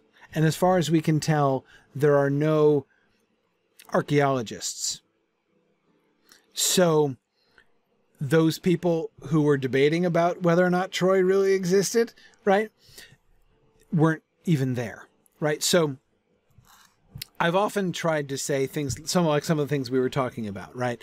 Um, think about like the ancient Egyptian kings, and when we're thinking about you know, why is it that the, the hobbits in the Shire have like forgotten almost everything about the War of the Last Alliance and everything else? Like, why do they, what, why, why, why do they need briefing on this?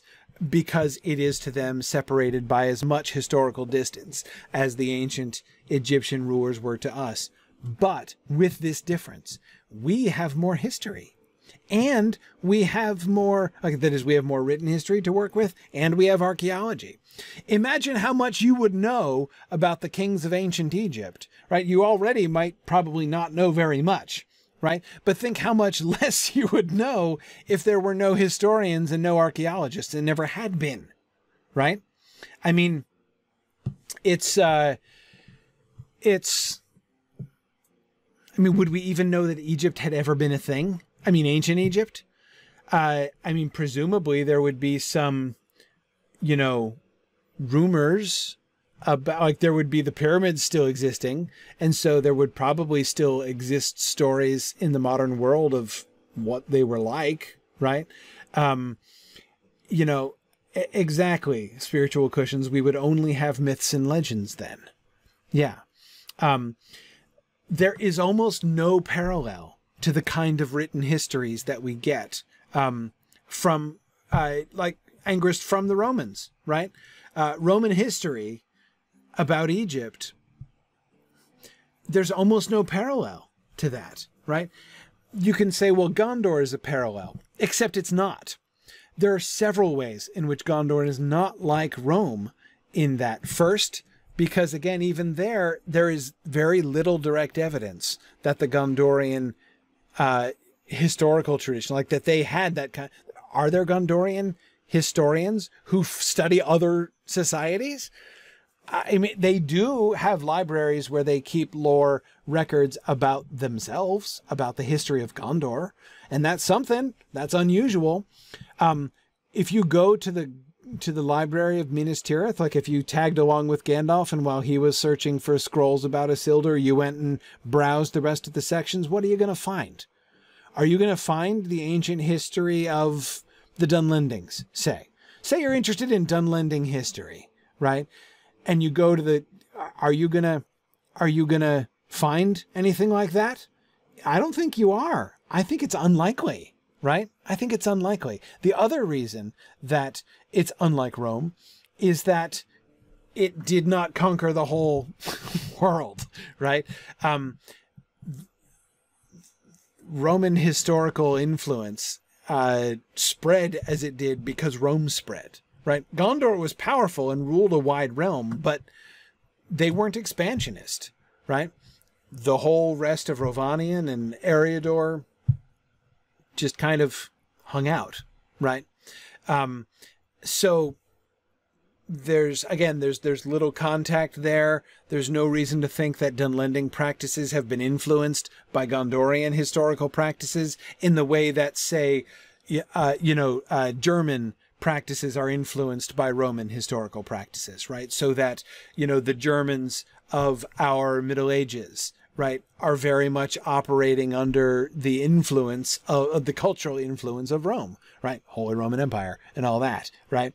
Um, we don't get that with the rest of, um, uh, you know, the, the, the, most of the rest of Eriador and Rovanion. Anyway, my point is simply, um, the level of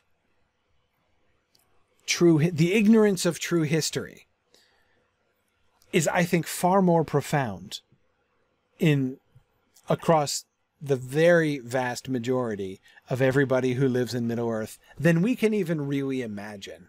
I think it's hard for us to imagine it, how little we would know. I saw somebody comparing it to our Middle Ages, and I deny that.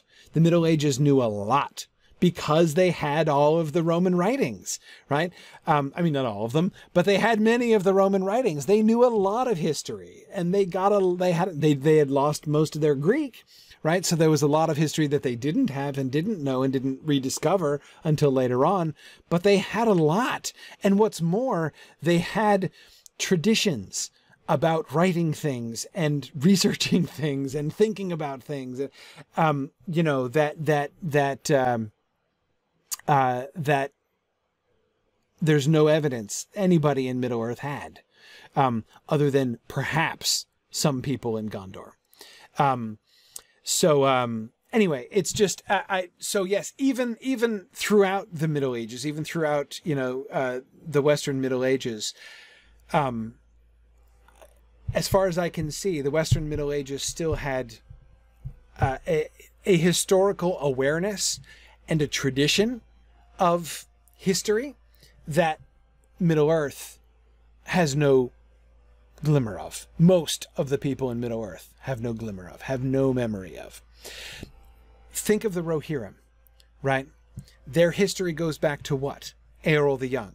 Prior to that, a few legends and stories, right? There was a dragon, right?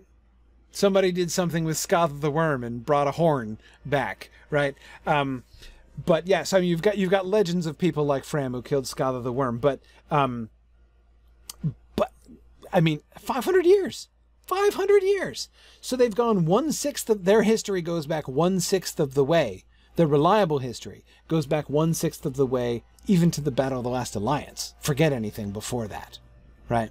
Like the War of the Rings of Power, for instance. Um, so, um, anyway, it's um, very remarkable very remarkable. And so again, therefore, I get so just as we often, I think, as readers, kind of get um, uh, too comfortable with um, uh, with elves and the idea of immortality, and we can kind of forget uh, how wondrous this is when it when when a, a, mortal really encounters it for the first time. Um, I think too that again we just we assume so much because the hist- we have so much history of Middle Earth, right? We've got the appendices, we've got the Silmarillion, we've got unfinished tales and all these other things. And so it's easy for us to associate Middle Earth with carefully chronicled history in general, right?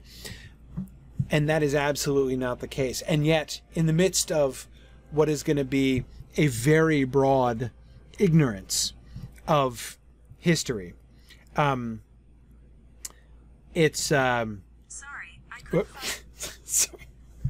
my my phone is pitching in. Um uh in the midst of this we have these few examples of people like elrond who can remember right?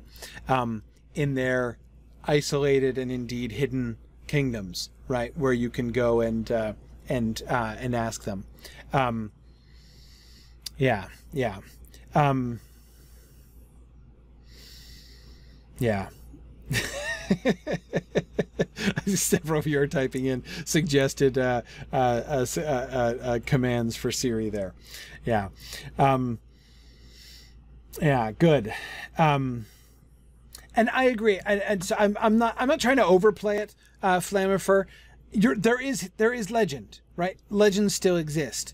Um, Butterbur has heard of the old kings, right? That's a phrase that means something to him right? There do still exist stories, stories in circulation, which of course is exactly what you would expect when there are individual people who do keep those memories, right? And cultures, isolated cultures, like the Dunedain in the north, like Gondor in the south, like, you know, like Minas Tirith in the south, where memory is kept alive of ancient things, right? Um, though even in Gondor, lore is beginning to wane. So yes, legends circulate, stories circulate. The name of Sauron is not unknown, even in the Shire, right? It still is a story that's told. Um, but uh, but again, the, the thing that I'm chiefly responding to are those people who will read this and be like, how does everybody not know this is Sauron's Ring of Power right away? Like, isn't it the most obvious thing? I mean, like process of elimination, it couldn't be any other ring, and it's like, why is everybody playing dumb? This is a plot hole, right? That's the kind of thing that I'm that I'm responding to, especially. Um, but um, yeah, yeah. Anyway, um, Good. And I agree, Fourth Dauntless, that it is striking that it's Frodo and not Boromir who reacts with shock at Elrond's age. Boromir has more call than most, perhaps, certainly more call than, more excuse than Frodo, you could say, to be shocked, right? Because Frodo at least eh, has been literally brought up on stories of Elrond from somebody who's met him, right? Whereas to Boromir, they had to look up. They didn't even know what Imladris was, right? Um, it was only through his mastery of obscure books of lore that Denethor even knew the name, right? Um, so very few, but perhaps in that sense, actually, um, Boromir is better prepared because to him, Elrond and Imladris are names out of legend, right? Um, and so he sort of is coming expecting to meet Ancient Legend, right? But I also do suspect, Trifle, that Boromir has a better council face uh, than Frodo does. I think it's very likely that Boromir um, is shocked, but I can very easily imagine that Boromir's reaction um, to everything that he's seeing and everybody that he's meeting here at this council is to play it cool, right? Um, yeah, yeah. Um,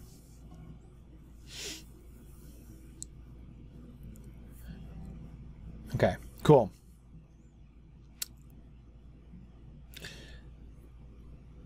Let's see.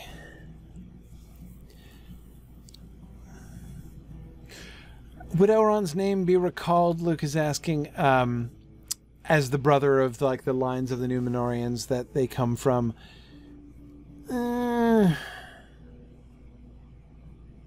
I don't know. Um, maybe, but it doesn't sound like it. Um, I mean, based on what we see. Um, yeah, it's also possible, Cecilia, of course, that Boromir just didn't have a chance to put his foot in his mouth and Frodo beat him to it. Um, that is that is possible. Um, yeah, yeah. Um,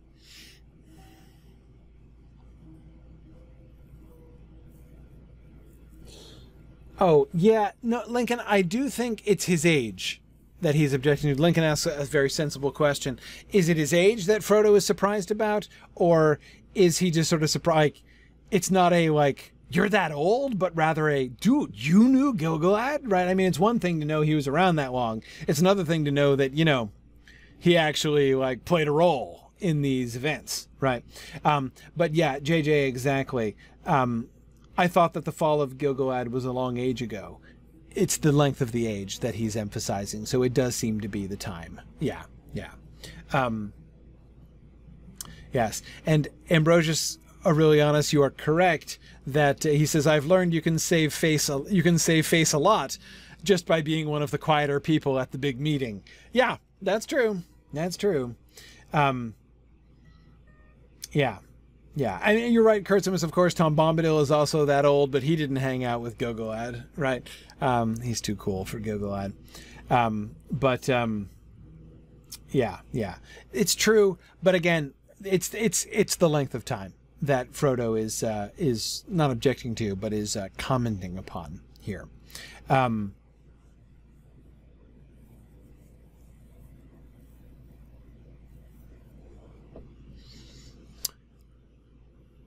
I'm making my can we do another slide face. Um,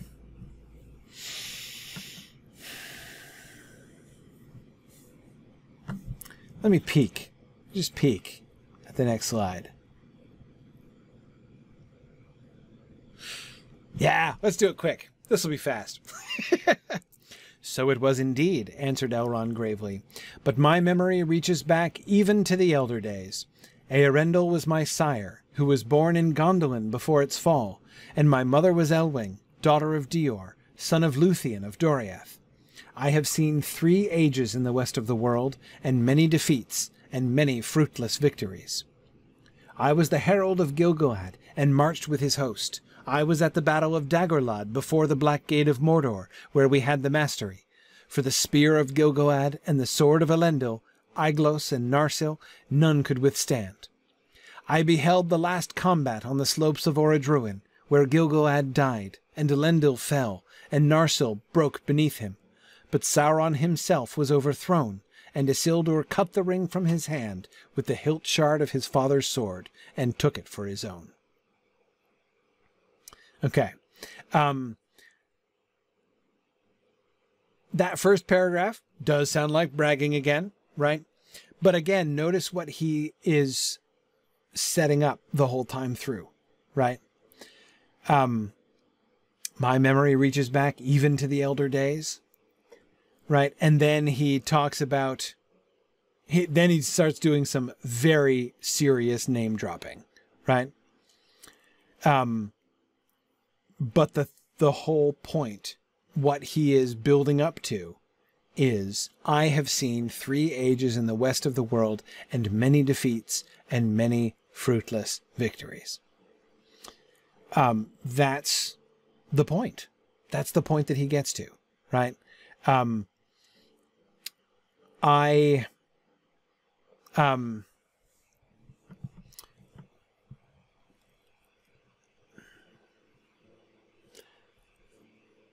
I've seen many defeats and many fruitless victories. Um, we don't have a chance to win, is what he's gently getting around to, right? Um, I think here again, Elrond, like he was before when talking about the the uh, breaking of Thangorodrim, he is setting up the response to the proposals later on, right? Um, so don't tell me we should get an army together and attack. It's not going to matter. It's not going to work, right? Um,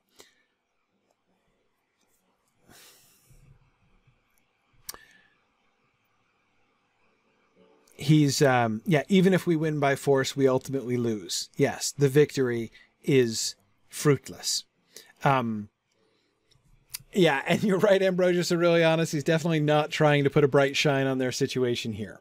Um, and he is, Catriona, I agree, uh, very gently telling them, you know, we're kind of screwed here, just so that you know, right? Um, he is certainly you can't accuse him of uh, having a rose tinted view of the situation.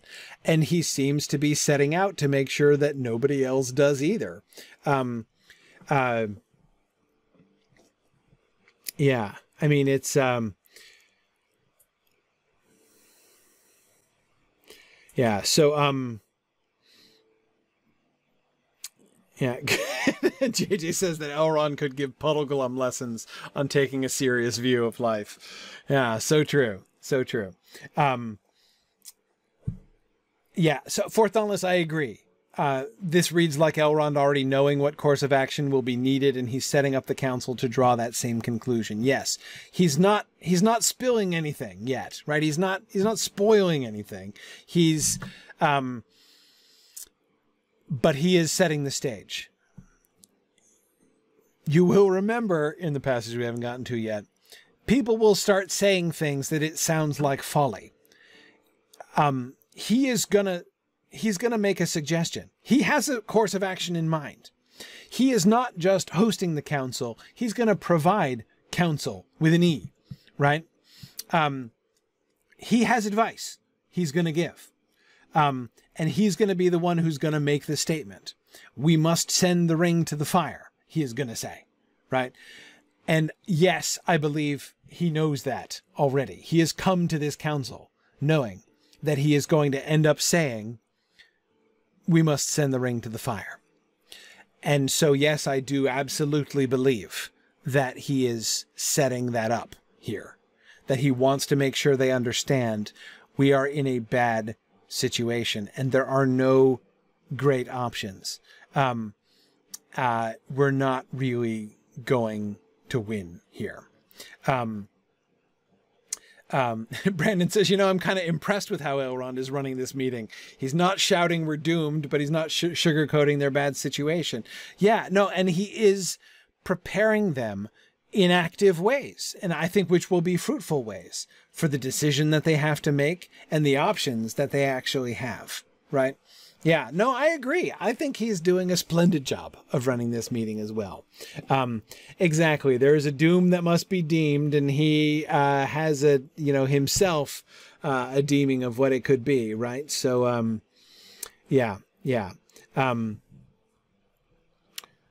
notice where he segues from here right? Many defeats and many fruitless victories. So on that downer note, I was the herald of Gil-galad and marched with his host.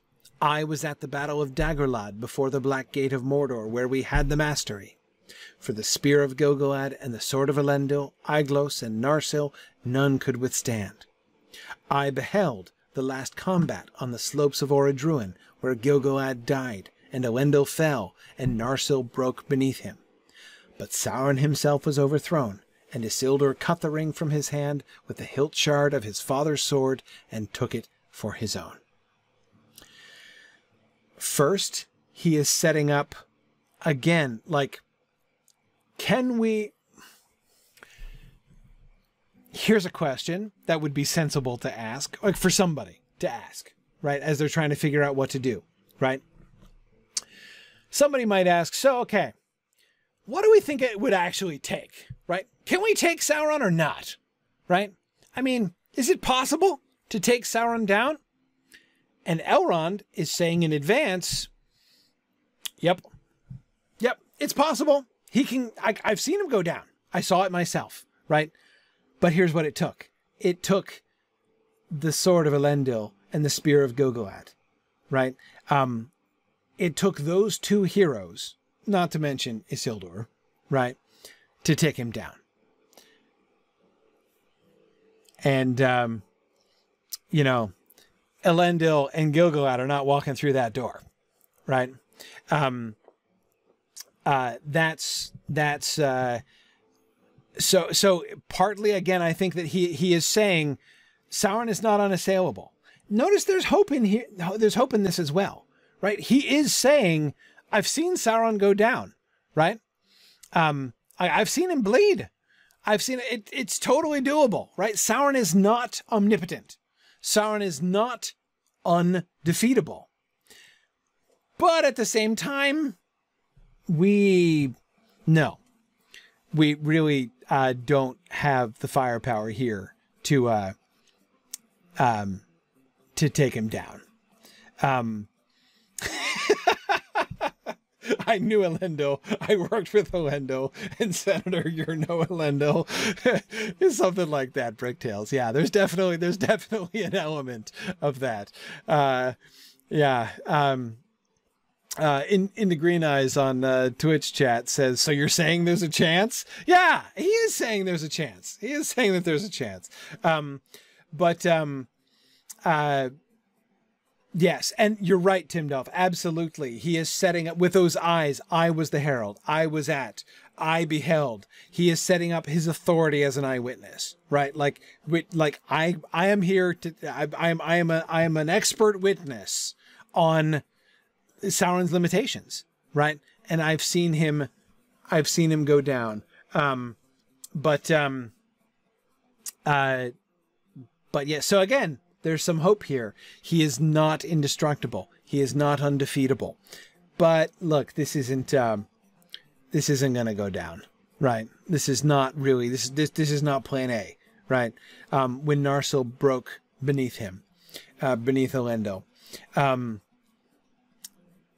but Sauron was overthrown, and Isildur cut the ring from his hand with the hilt shard of his father's sword and took it for his own. Some of you are wondering how much Isildur contributed to this, right?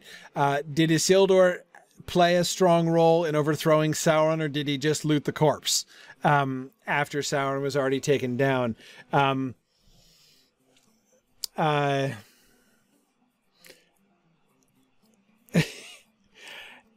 he gives all the praise Elrond, Mr. Eyewitness, gives all the praise to um, Elendil and Gilgalad, right? Um, Isildur was there and looted the corpse. Definitely looted the corpse. Um, but um, uh, yeah, I, so I think that um, uh, I don't know that Isildur is guilty of kill stealing exactly, uh, JJ. Uh, but um, um, but but yeah. Anyway, um,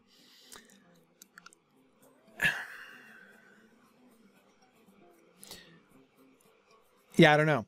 It's a little bit inconclusive. I mean, certainly the the emphasis of his narrative is that the overthrow of Sauron was accomplished by Elendil and Gilgalad, although it cost both of them their lives. Um, he will say later that Isildur stood by his father. So if we wanted to paint a scenario in which Isildur was actually hiding behind a rock the entire time and then only came out after Sauron had fallen and looted his corpse, um, I, I, um, um, that that I think we I think we do have evidence against that. That Isildur is definitely standing with his father here. Uh, uh, so I do think that he's involved, but I don't think that we need to imagine a scenario in which Sauron is fighting with Elendil and Gil-galad, and he kills Gil-galad, and he kills Elendil, and then Isildur like leaps over his father's fallen body and like strikes the death blow against Sauron, and and then like cuts the ring from his finger. Um, I don't think that we need to imagine that scenario either. Um, yeah, yeah. Um, let's see. Uh, yes. Um,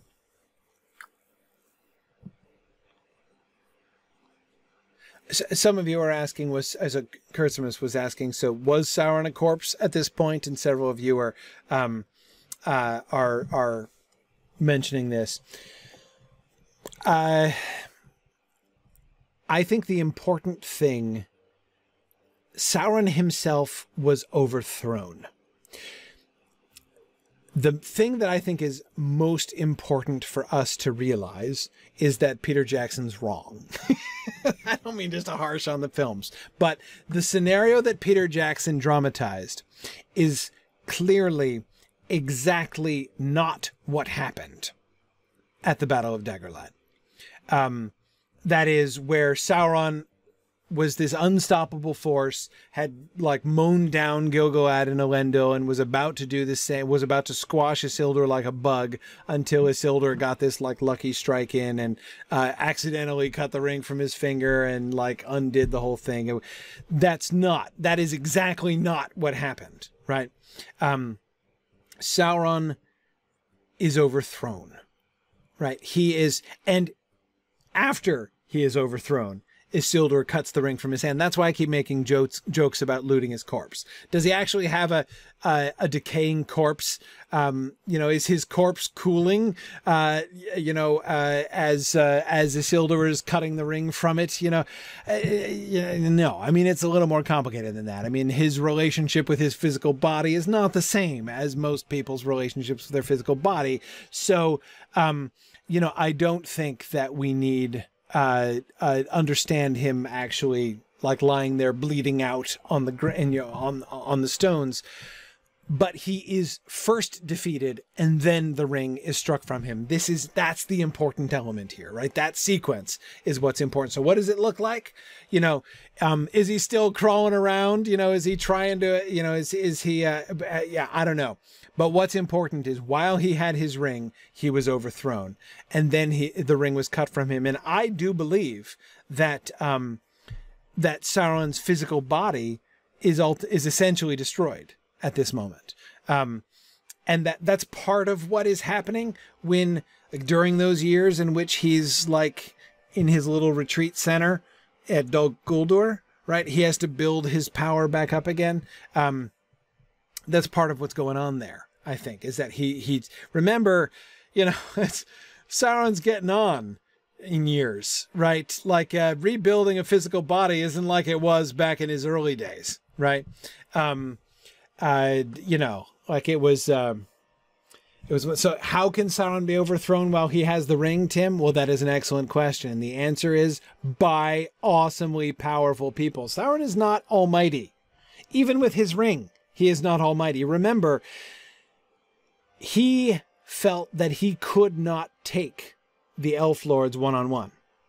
He used, he made the ring of power in order to give himself an advantage over them which means he felt he needed an advantage over them. Remember, this is the guy who got schooled by, you know, that famous elf girl and her dog, right? Um, a, one of the, you know, the Hound of Valinor once almost ripped out his throat, right? So he, and yes, exactly, Turambar, even Morgoth was wounded in a duel with an elf lord, right?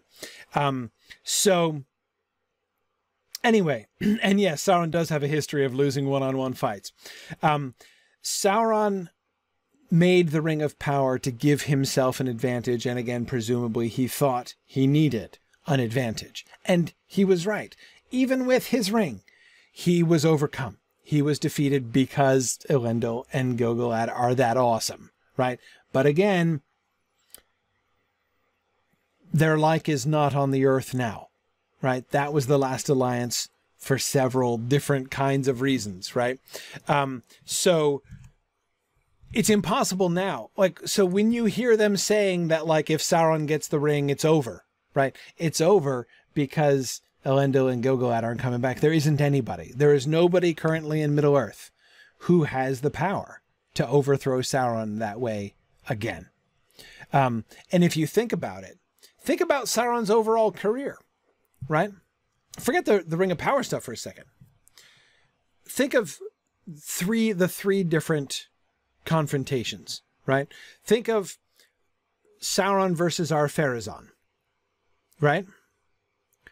Sauron versus Ar the Numenoreans show up, call Sauron out, and he comes on his knees, right? He knows they're going to absolutely destroy his his armies, run away, right? Um, he cannot take Ar-Pharazôn um, and the Numenoreans, right? So in that confrontation, he he doesn't even fight. He gives he surrenders. Now, yes, he's being wily, and yes, he has a plan B, but his plan A would have been to hold his his his his title by force, um, and he can't do it, right? Number two, and I'm not even going back to the Silmarillion stuff. Just thinking of the Middle Earth stuff, right? Conflict with the Numenoreans, Battle of the Last Alliance, and then the War of the Ring at the end of the Third Age, right? The first one he surrenders because his opponents are way stronger than he is. Even though, remember, Tim, he has the Ring of Power then, retroactively, right? Um, little retconning on Tolkien's part there, but still, like Sauron at the peak of his power surrenders to the Numenoreans because he can't measure up. Secondly, Battle of the Last Alliance, long fight, tough, right? Could go either way. Finally, he's taken down, though he, um, um, though he, um, uh, is able to take down Elendil and Gil-galad himself, right? So he kills them, but they kill him, and then he, he gets his ring taken away. So he is overcome. It's much harder the second time. It's nothing like the first time where he just surrenders because he can't possibly manage it. The third time, he is so strong that they can't possibly measure up. They know if Sauron gets the ring at the end of the, you know, in the War of the Ring, if Sauron gets the ring, a second darkness is descending on the land. That's it. They're they're done. It's over. Why? Because Sauron is getting stronger? No, because everybody else is getting weaker, right? The Battle of the Last Alliance was awesome, but they weren't nearly as awesome as Ar-Pharazôn and the Numenoreans. I mean, come on, right? And the War of the Last, the War of the Ring is hopeless if he gets the ring because they are nothing like the War of the Last Alliance, right? Everything else is declining. Um, uh, but Sauron, and Sauron is declining too, but not as fast, right, as the rest of the world. Uh, Bricktails asked, did he surrender because he thought he would lose or simply as a strategy to get to Numenor and destroy it from the inside? Definitely the former. Definitely because he didn't think he was going to lose. He had lost. His army runs away when the Numenoreans show up. He cannot beat the Numenoreans. Now, he's all about making the lemonade, right, out of that kind of a situation.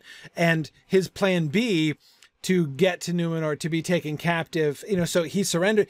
He could have run, and instead of running, he surrenders. Why does he surrender instead of running? Because Bricktails, he's got a plan B, right? He's immediately formulating his plan B. I'm going to stick it to these Numenoreans. I'm going to have to do it the devious way instead of by force, right?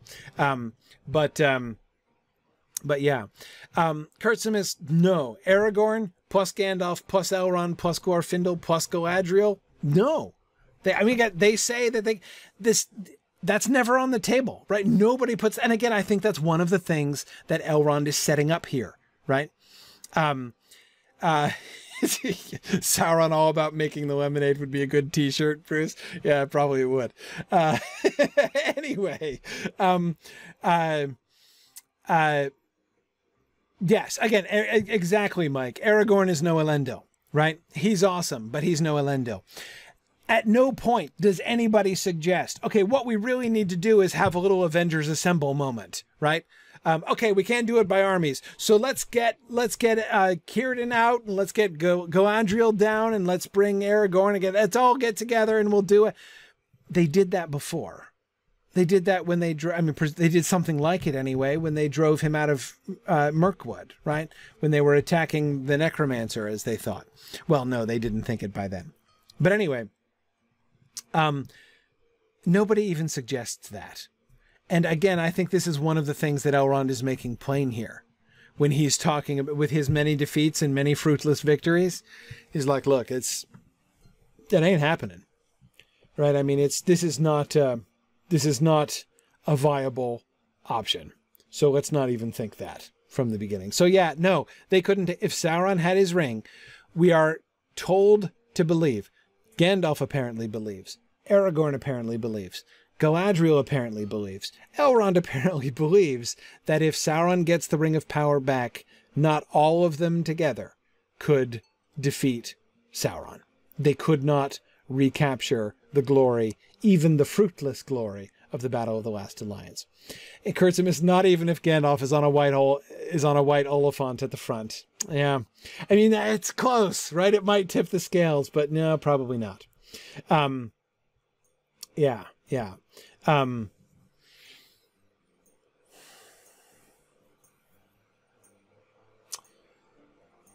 yes. Uh, okay, let's see. Um,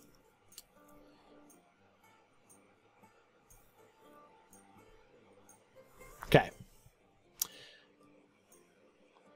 I think we're good. I think we're good. Um, See, that was not bad. We got through a second slide much faster than we got through our first slide. Um, thanks for. Um...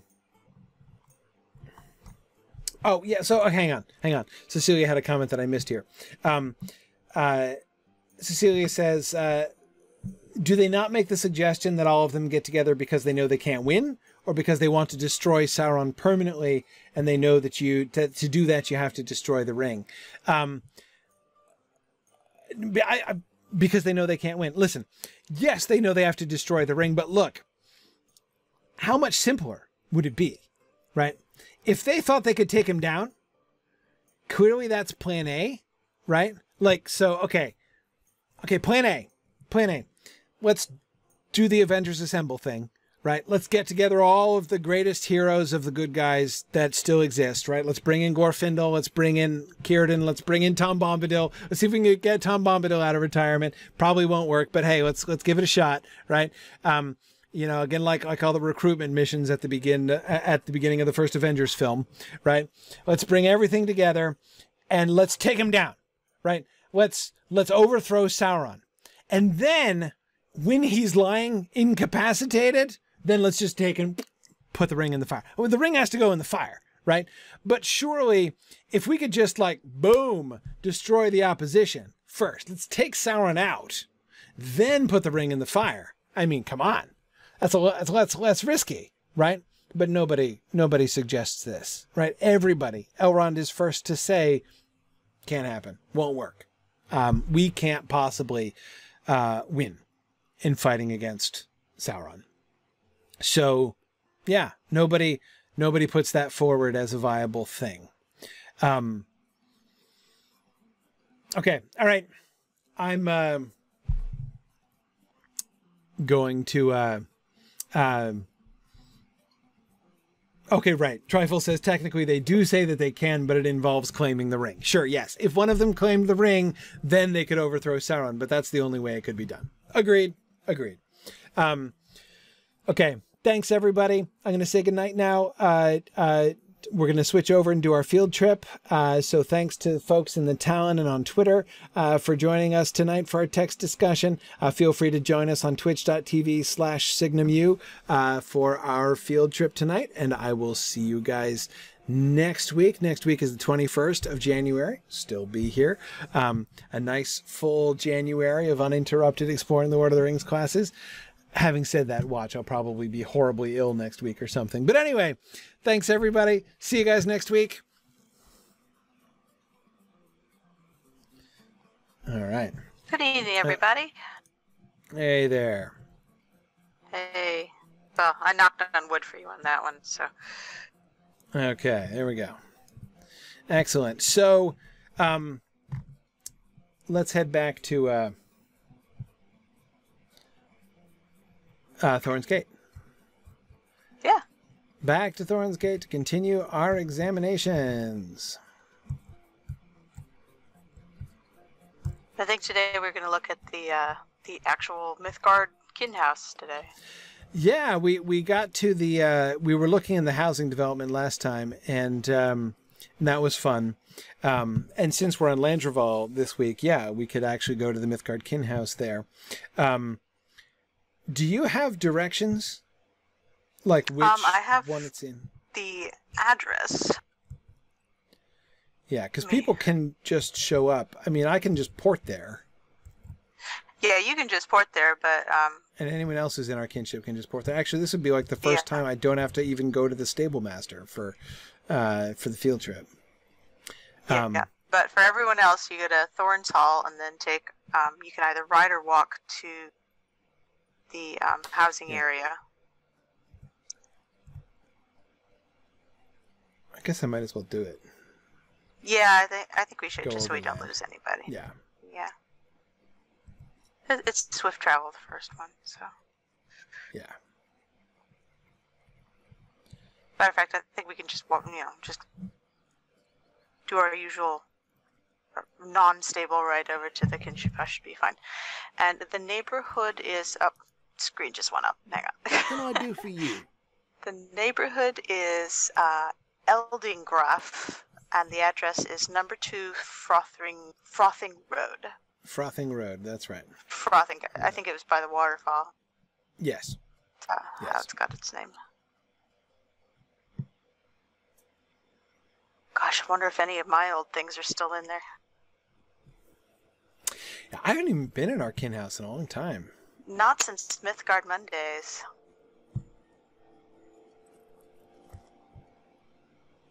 Yeah. Oh, that's a great idea. Could you type that into Discord Oh, sure. where we're headed?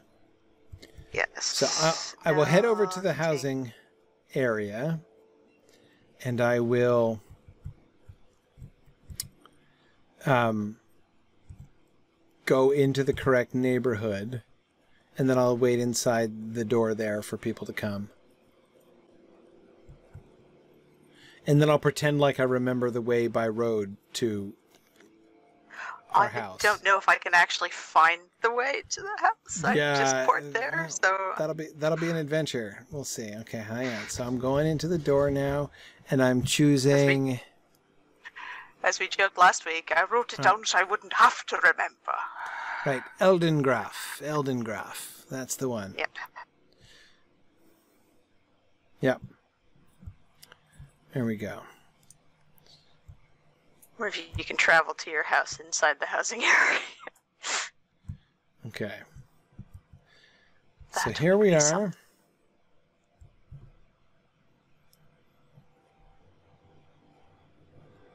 Looking at our cultivated stalagmite again.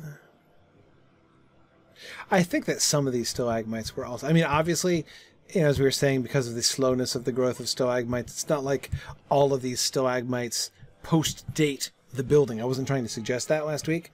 Just that they were No. first left and then, like, continued to be cultivated.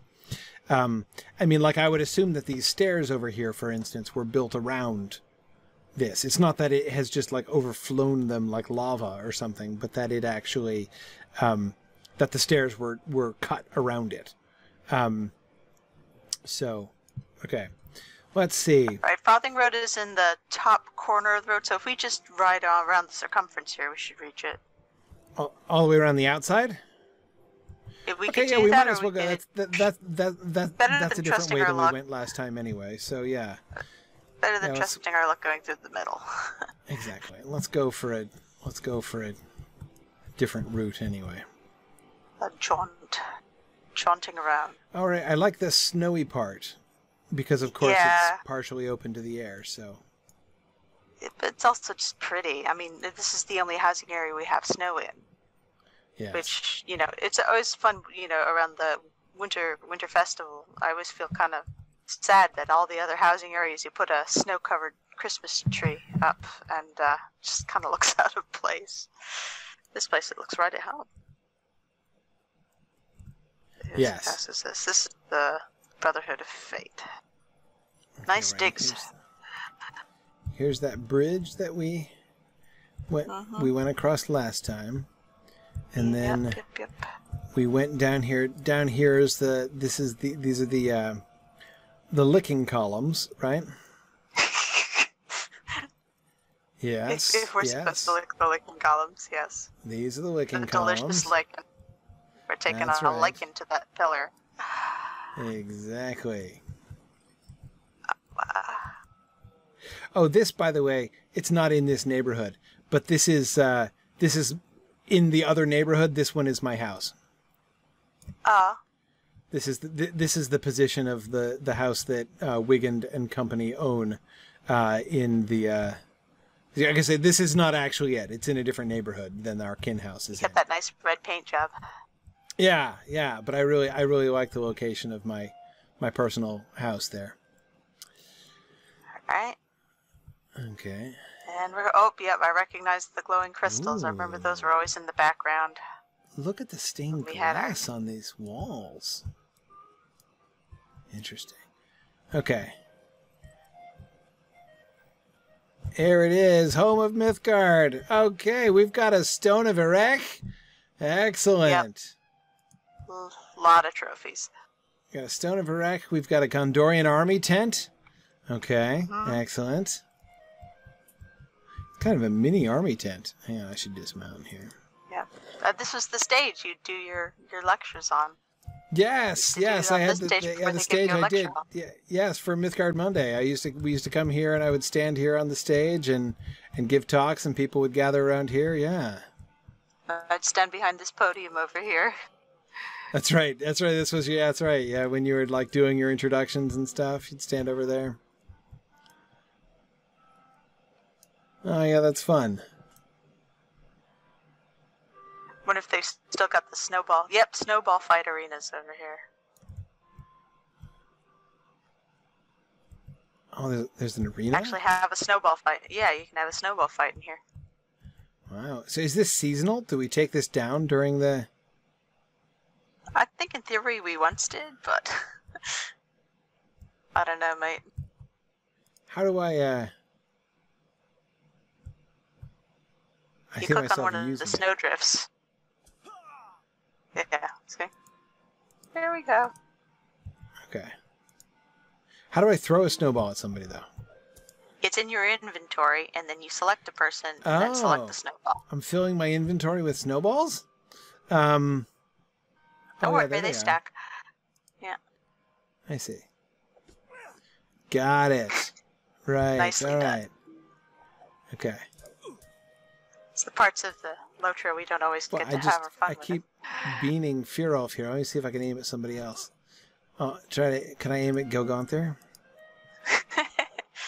Yes, I can. Oh, hit him in the kneecap. Oh man. Okay. Oh, that's that's that's that's good fun there. yeah. Let's see. Inside, I think we have mostly trophies from our adventuring. Yes. What's this one? Oh, it's, uh, Okay, hang on. Before we go in though, before Uh-huh. we go in, I want to look at this wall. yeah, yeah. Um, Ooh, it's dark. so the stained glass. Yeah. Have we seen that? No, I don't. I don't remember the stained glass because most of this wall, I doesn't it look a little Dourhandy? Wall, Um, just a little bit. it's a bit squarish though. It's hard to say. You can see the stained glass better over here. This wall's lit Wait, which one? by the stone of Erech.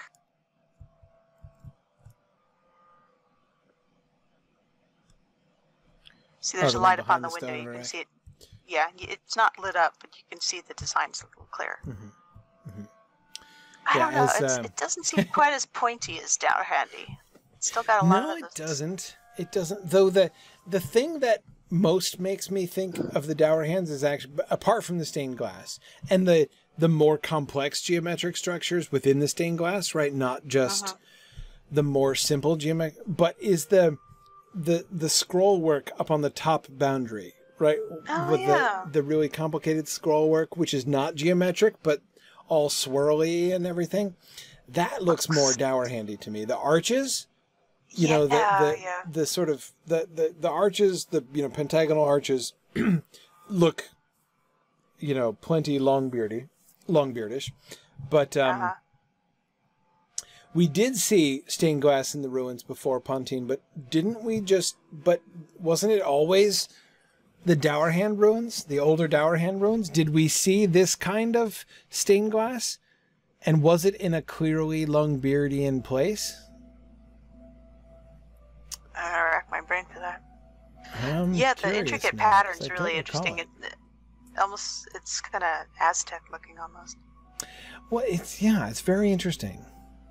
I Wonder if it's a I'm revival not sure. So here, here in the in the walls of the courtyard of our own kin house, I'm discovering a an architectural anomaly that I, I I'm not sure I can explain now.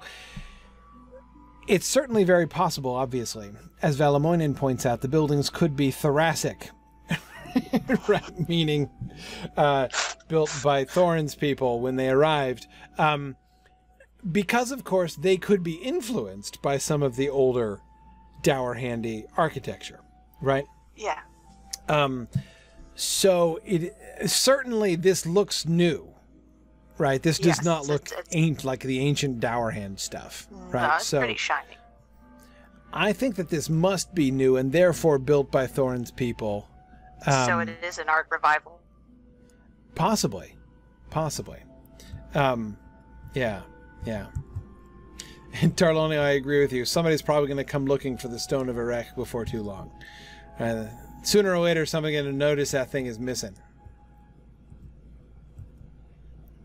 Okay. Oh, okay. So this is the treacherous hole I should not click on. Yeah, no, no, no, no.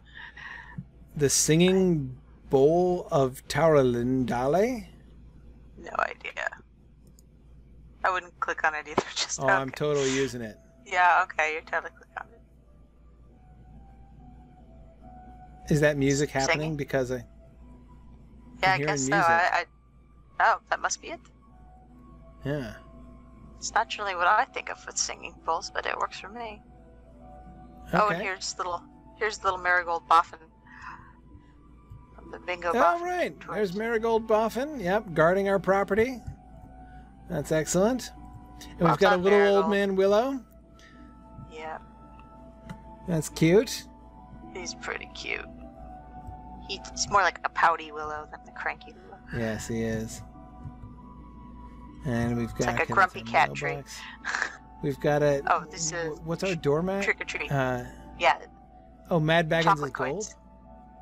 Yeah, chocolate. They, they made Oh, I can't. Guilt. I can't. I can't the- click on it. Okay.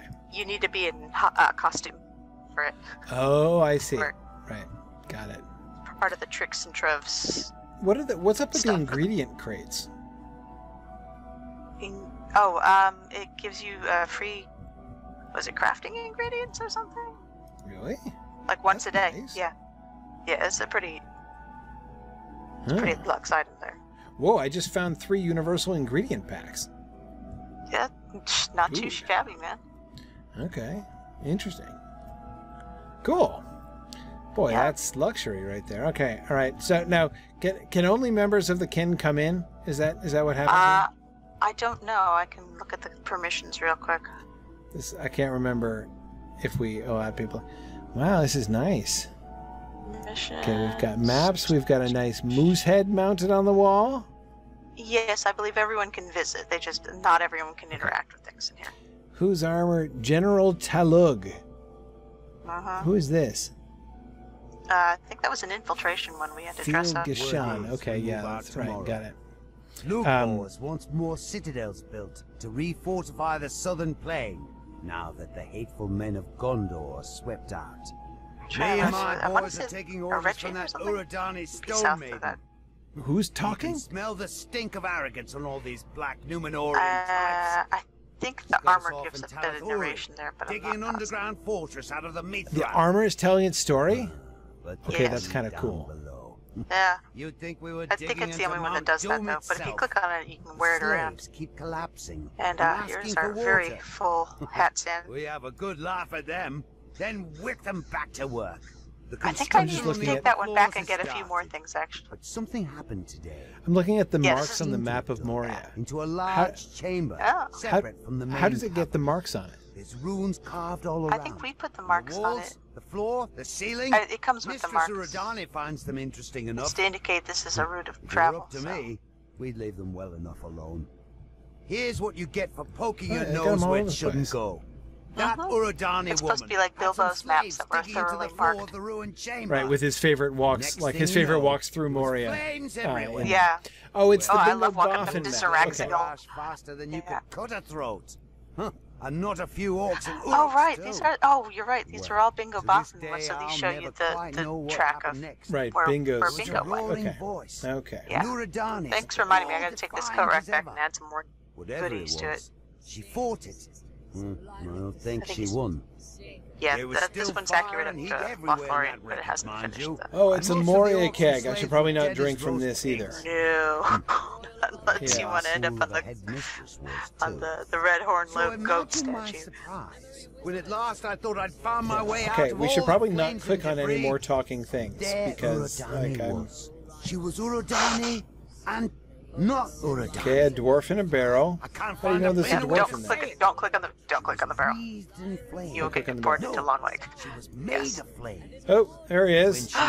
okay, that's new. I did not. Okay, that's not. I was thinking of an apple barrel. This is new. This is a dwarf a barrel. Wow. There's definitely not a dwarf hiding in this barrel, it says. Okay. From Wolf, whoever you are, you, you got us some good stuff in here. My goodness, yes. That's what we've become. in League Sinister Keg, okay. Oh, who's this? Ken Dife! Oh! Ken Dife, yeah. Strength and fire aside. Ken Dife, the wooden sculpture of Ken Dife, of completing his correspondence course in the black the speech. Yeah. Work's nearly done. And oh, a high elf visitor property guard. Yep. Or at least okay. that's what our new master. Have a lot of really good treasures in here. Need a guard. Oh, I, I, figured out where the, the voice is coming from. The, the lost lore books. That's what they're. That's what I've always said. Someone clicks on we him, everybody hears. in the second age. Oh my After goodness. Sauron okay, so it's part of the loudspeaker yes, system. Set to work building an army to make war against the kingdom. It's not that I'm not interested in the lore books. In the valley it's just Udun, there's Sauron like three of them running at once, and I'm like, and forges and furnaces made. I feel like I'm shouting in a in a orange room. Ground okay, so what it's like is when you're this? Disney World and your trolley gets stuck between two rooms. Great wheels just like that. Bellows work. Um. Okay, so I have a question. One four. What is this thing? One hundred it is a grasping maw. A maw. Strange yes, right. Whose maw, and where does one encounter such a maw?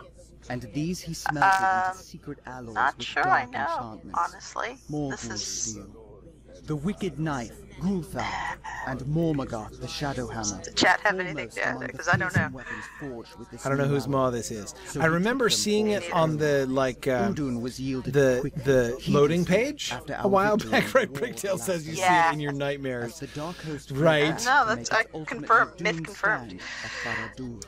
Yeah, no, this isn't from Moria. The Gladdenmere's and the Vales of Anduin, says Pontin. That sounds yeah. more likely. Yeah, that sounds about right. Over seven okay. years later. Yeah, I got nothing on this guy. Strife yeah. and victory did Isildur return as king yes, and conqueror the Crowing the theories it's from the Vales or one or it's one of the newer Minas Morgul bridge. Be built as an yeah. No, I think it's from before Minas Morgul. For oh, nice little winter worm and right by the tundra bear. Dwelt here. But war, okay. plague, blazon of the Great Alliance, the kingdom of men. And in time, the Watch on Mordor. That is pretty. Cunning, force, and treachery, did Ugruchor, okay. the captain of the pit, seize Duathand and Udun. The tower he made his so. own and renamed to Duathang, the Dark Oppression. The captain strengthened the fortifications of Udun, restored the old, and built Still getting anew.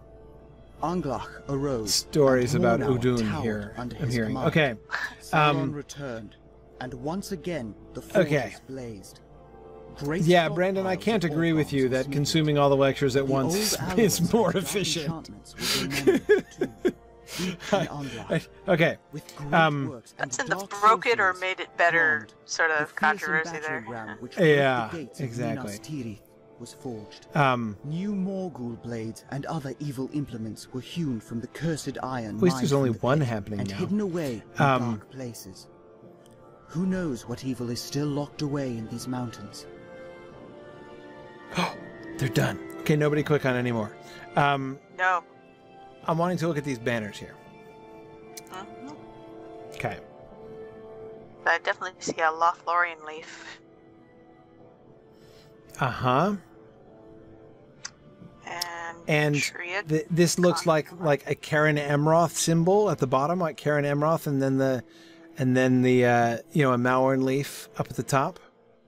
Mhm. So that would presumably be a Lothlorien banner. Yeah. This would presumably be a Gondorian banner because we have both that we've got the sun and the moon, right? The moon with the tree and the sun with the tree, right? So we have um, we have the two bo- both Minas Tirith and Minas Ithil represented there. Yep. I assume that those above on the top left is this those are the signs of Elendil, right? That's why it's a big deal when Aragorn unfurls that banner, because it's not just the banner of Minas Tirith or the banner of Gondor, it's the banner of Elendil personally, which looks like that, Yeah. right? The white tree with the Well- seven stars. Yes, and then there's the shield of Gilgalad here. Exactly. Uh, the right, the banner of Gilgalad, which shows his shield with the stars on it.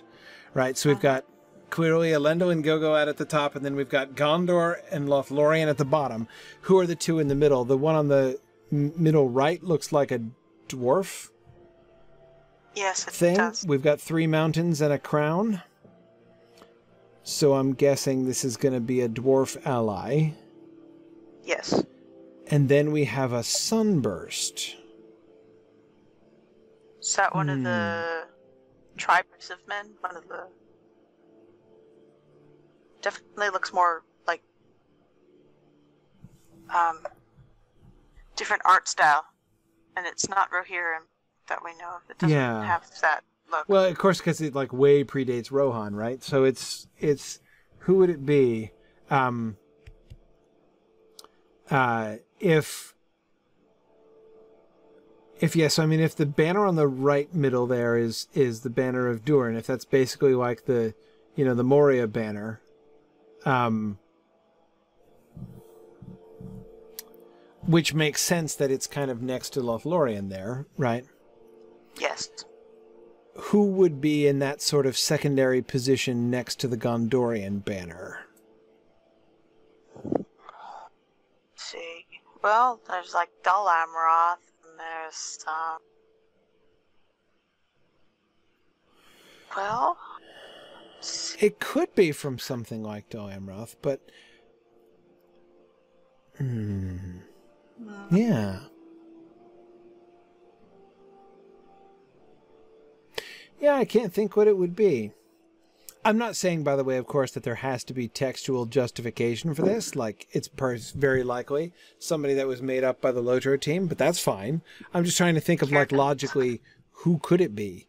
Um, I don't think it would be an elvish. I don't think it would be No. I don't think it would be an elvish one. I would think it would be an ally of the of the men. Anor?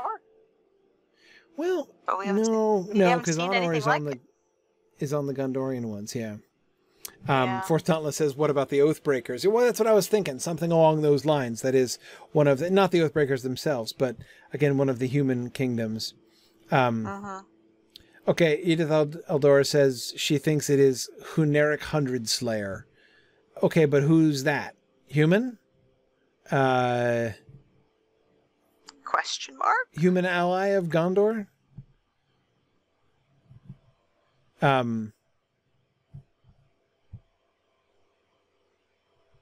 Yeah, because it can't be Anarion. Like it can't be Anor because Uh-huh. that's the bottom symbol there. That you've got the tree surrounded, but but you can see it's it's inside a sun, right? You've got the moon, the crescent moon with Yeah. the tree, and then you've got the whole sun with the tree on the inside of the sun. So that's clearly Ithil yeah, it's a, Anor s- down it's a there. sun motif, but it's very different, and it doesn't match anything we've seen Yeah. in any of the rooms. Yeah, yeah. Um, doesn't look like anything like Athelian North area or anything either. okay, so Edith Aldor says that he was he was human. Um, Okay. Yeah. Yeah. Okay. Maybe from the south, I mean, we know the ancient Gondorian realm extended further south than the later one did. Okay. No, see, it's just, it's fun to try to figure these things out before you know the answers. Yep. Ooh, a nice fishing trophy, a 40 pound salmon. That's pretty, uh, yeah pretty impressive. That's one of the better ones. Celebratory scroll pile. Oh yeah, lots of those. Okay. Wait, what does it say? Used to randomly alter ribbon color. Okay. Should one want to do that? Okay, we've got some uh, cookery here. This is comfy. Okay. Huh. Trifle says, according to the wiki, they put hobbits at the Last Alliance as well, which makes sense. It says all the races are represented. Could be Yeah, a hobbity sunflower, since that's sort be. of their unofficial symbol Could around be. here. More Ooh, fish. The high seas carpet, huh? Yep. Oh, and we got another Um, boat motif over here. Tale of Elendil tapestry. Ooh, okay. With the Numenorean ship motif, just like we see all over Annuminas. And the star. And then five other stars. Interesting. Okay. Very Numenorean. hmm And then we've got lots of other trophies. We've got lots of troll trophies. I love the book in the mouth of the troll. That's adorable. that is really fantastic. Nobody brilliant. click on the book again. Yeah, please don't click And on the book. Pony. Okay, prancing pony. I wonder how many times. Yeah, I wonder how many times they have to replace that sign because people are stealing it. Honestly. Yeah. True. Uh, oh, the floor is lava. Yeah. that- look out. That happens. Oh, you can't jump from furniture to furniture. That's the whole point It's the floor is lava. Lots of fishing trophies. Oh, this is yeah. This was we called this the professor's study. Awesome. Right, we've got our Gondorian study over here, right, with the blue bunting that I'm so fond of. That's supposed to represent, like, you know, the sea, with the Numenoreans very- sailing across it. Very yeah. I think they And match the Dol Amroth Stars bookshelf, yeah. Nice. A Hobbit cupboard. hmm The Scholar's cupboard. All kinds of scholarly items here. Neat. And uh, and the floor is lava. So there we go. Uh, Mhm. With the uh, the the starry chandelier here. Yep. Yeah. Cool.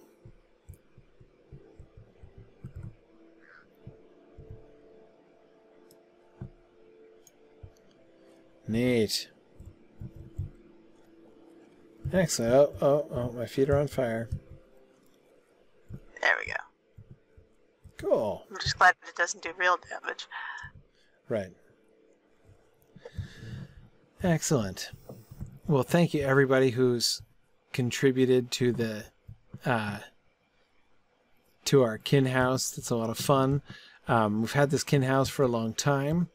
Um, now I feel like I should go drop down the hole outside in the courtyard. See where I end up. Yeah, That's the that'd fun. conclusion here. Yeah. Okay. All right. I think let's go back out to the courtyard because it is time to let everybody go. All right. So I'm going to go back out into the courtyard here. I'm going to jump in a hole. Here we go.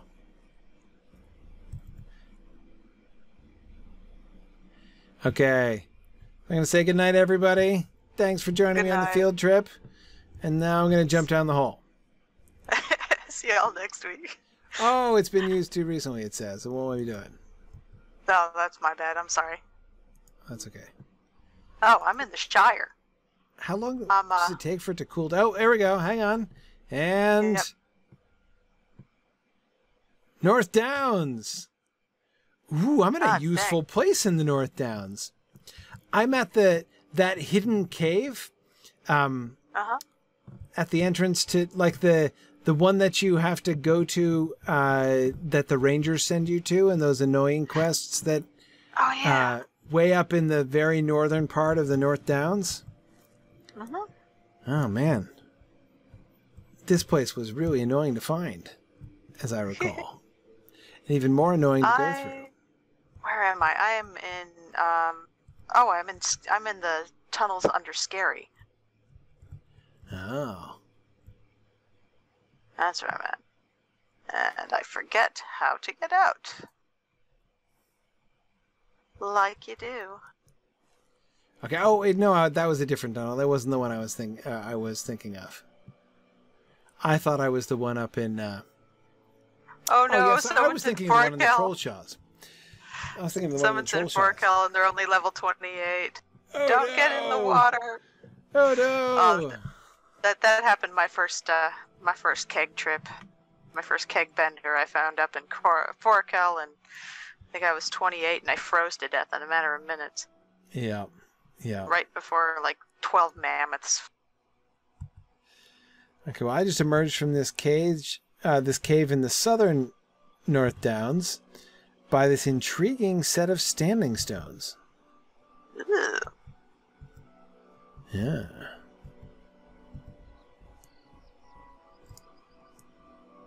Did the ones with the people carved on them, or No, no, just just standing stones. Kind of uh, slightly barrow downs ish, but not with the swirls. Interesting. All right? Okay. think uh, All right. I'm going to sign off here in the middle of All right. nowhere where I ended up. Um, thank you, everybody, uh, for joining me tonight. And uh, we'll be back again next week and we'll continue the, our exploration of Thorin's Gate uh, around the outside to uh, continue exploring the architectural and archaeological history of the Thorin's Gate region. Thanks, everybody. Good night. good night. Thanks for joining me on this epic exploration of The Lord of the Rings and of Standing Stone's video adaptation of Tolkien's story. If you are having even half the fun I'm having on this journey, I hope you will consider supporting the project by donating at signumuniversity.org/fund.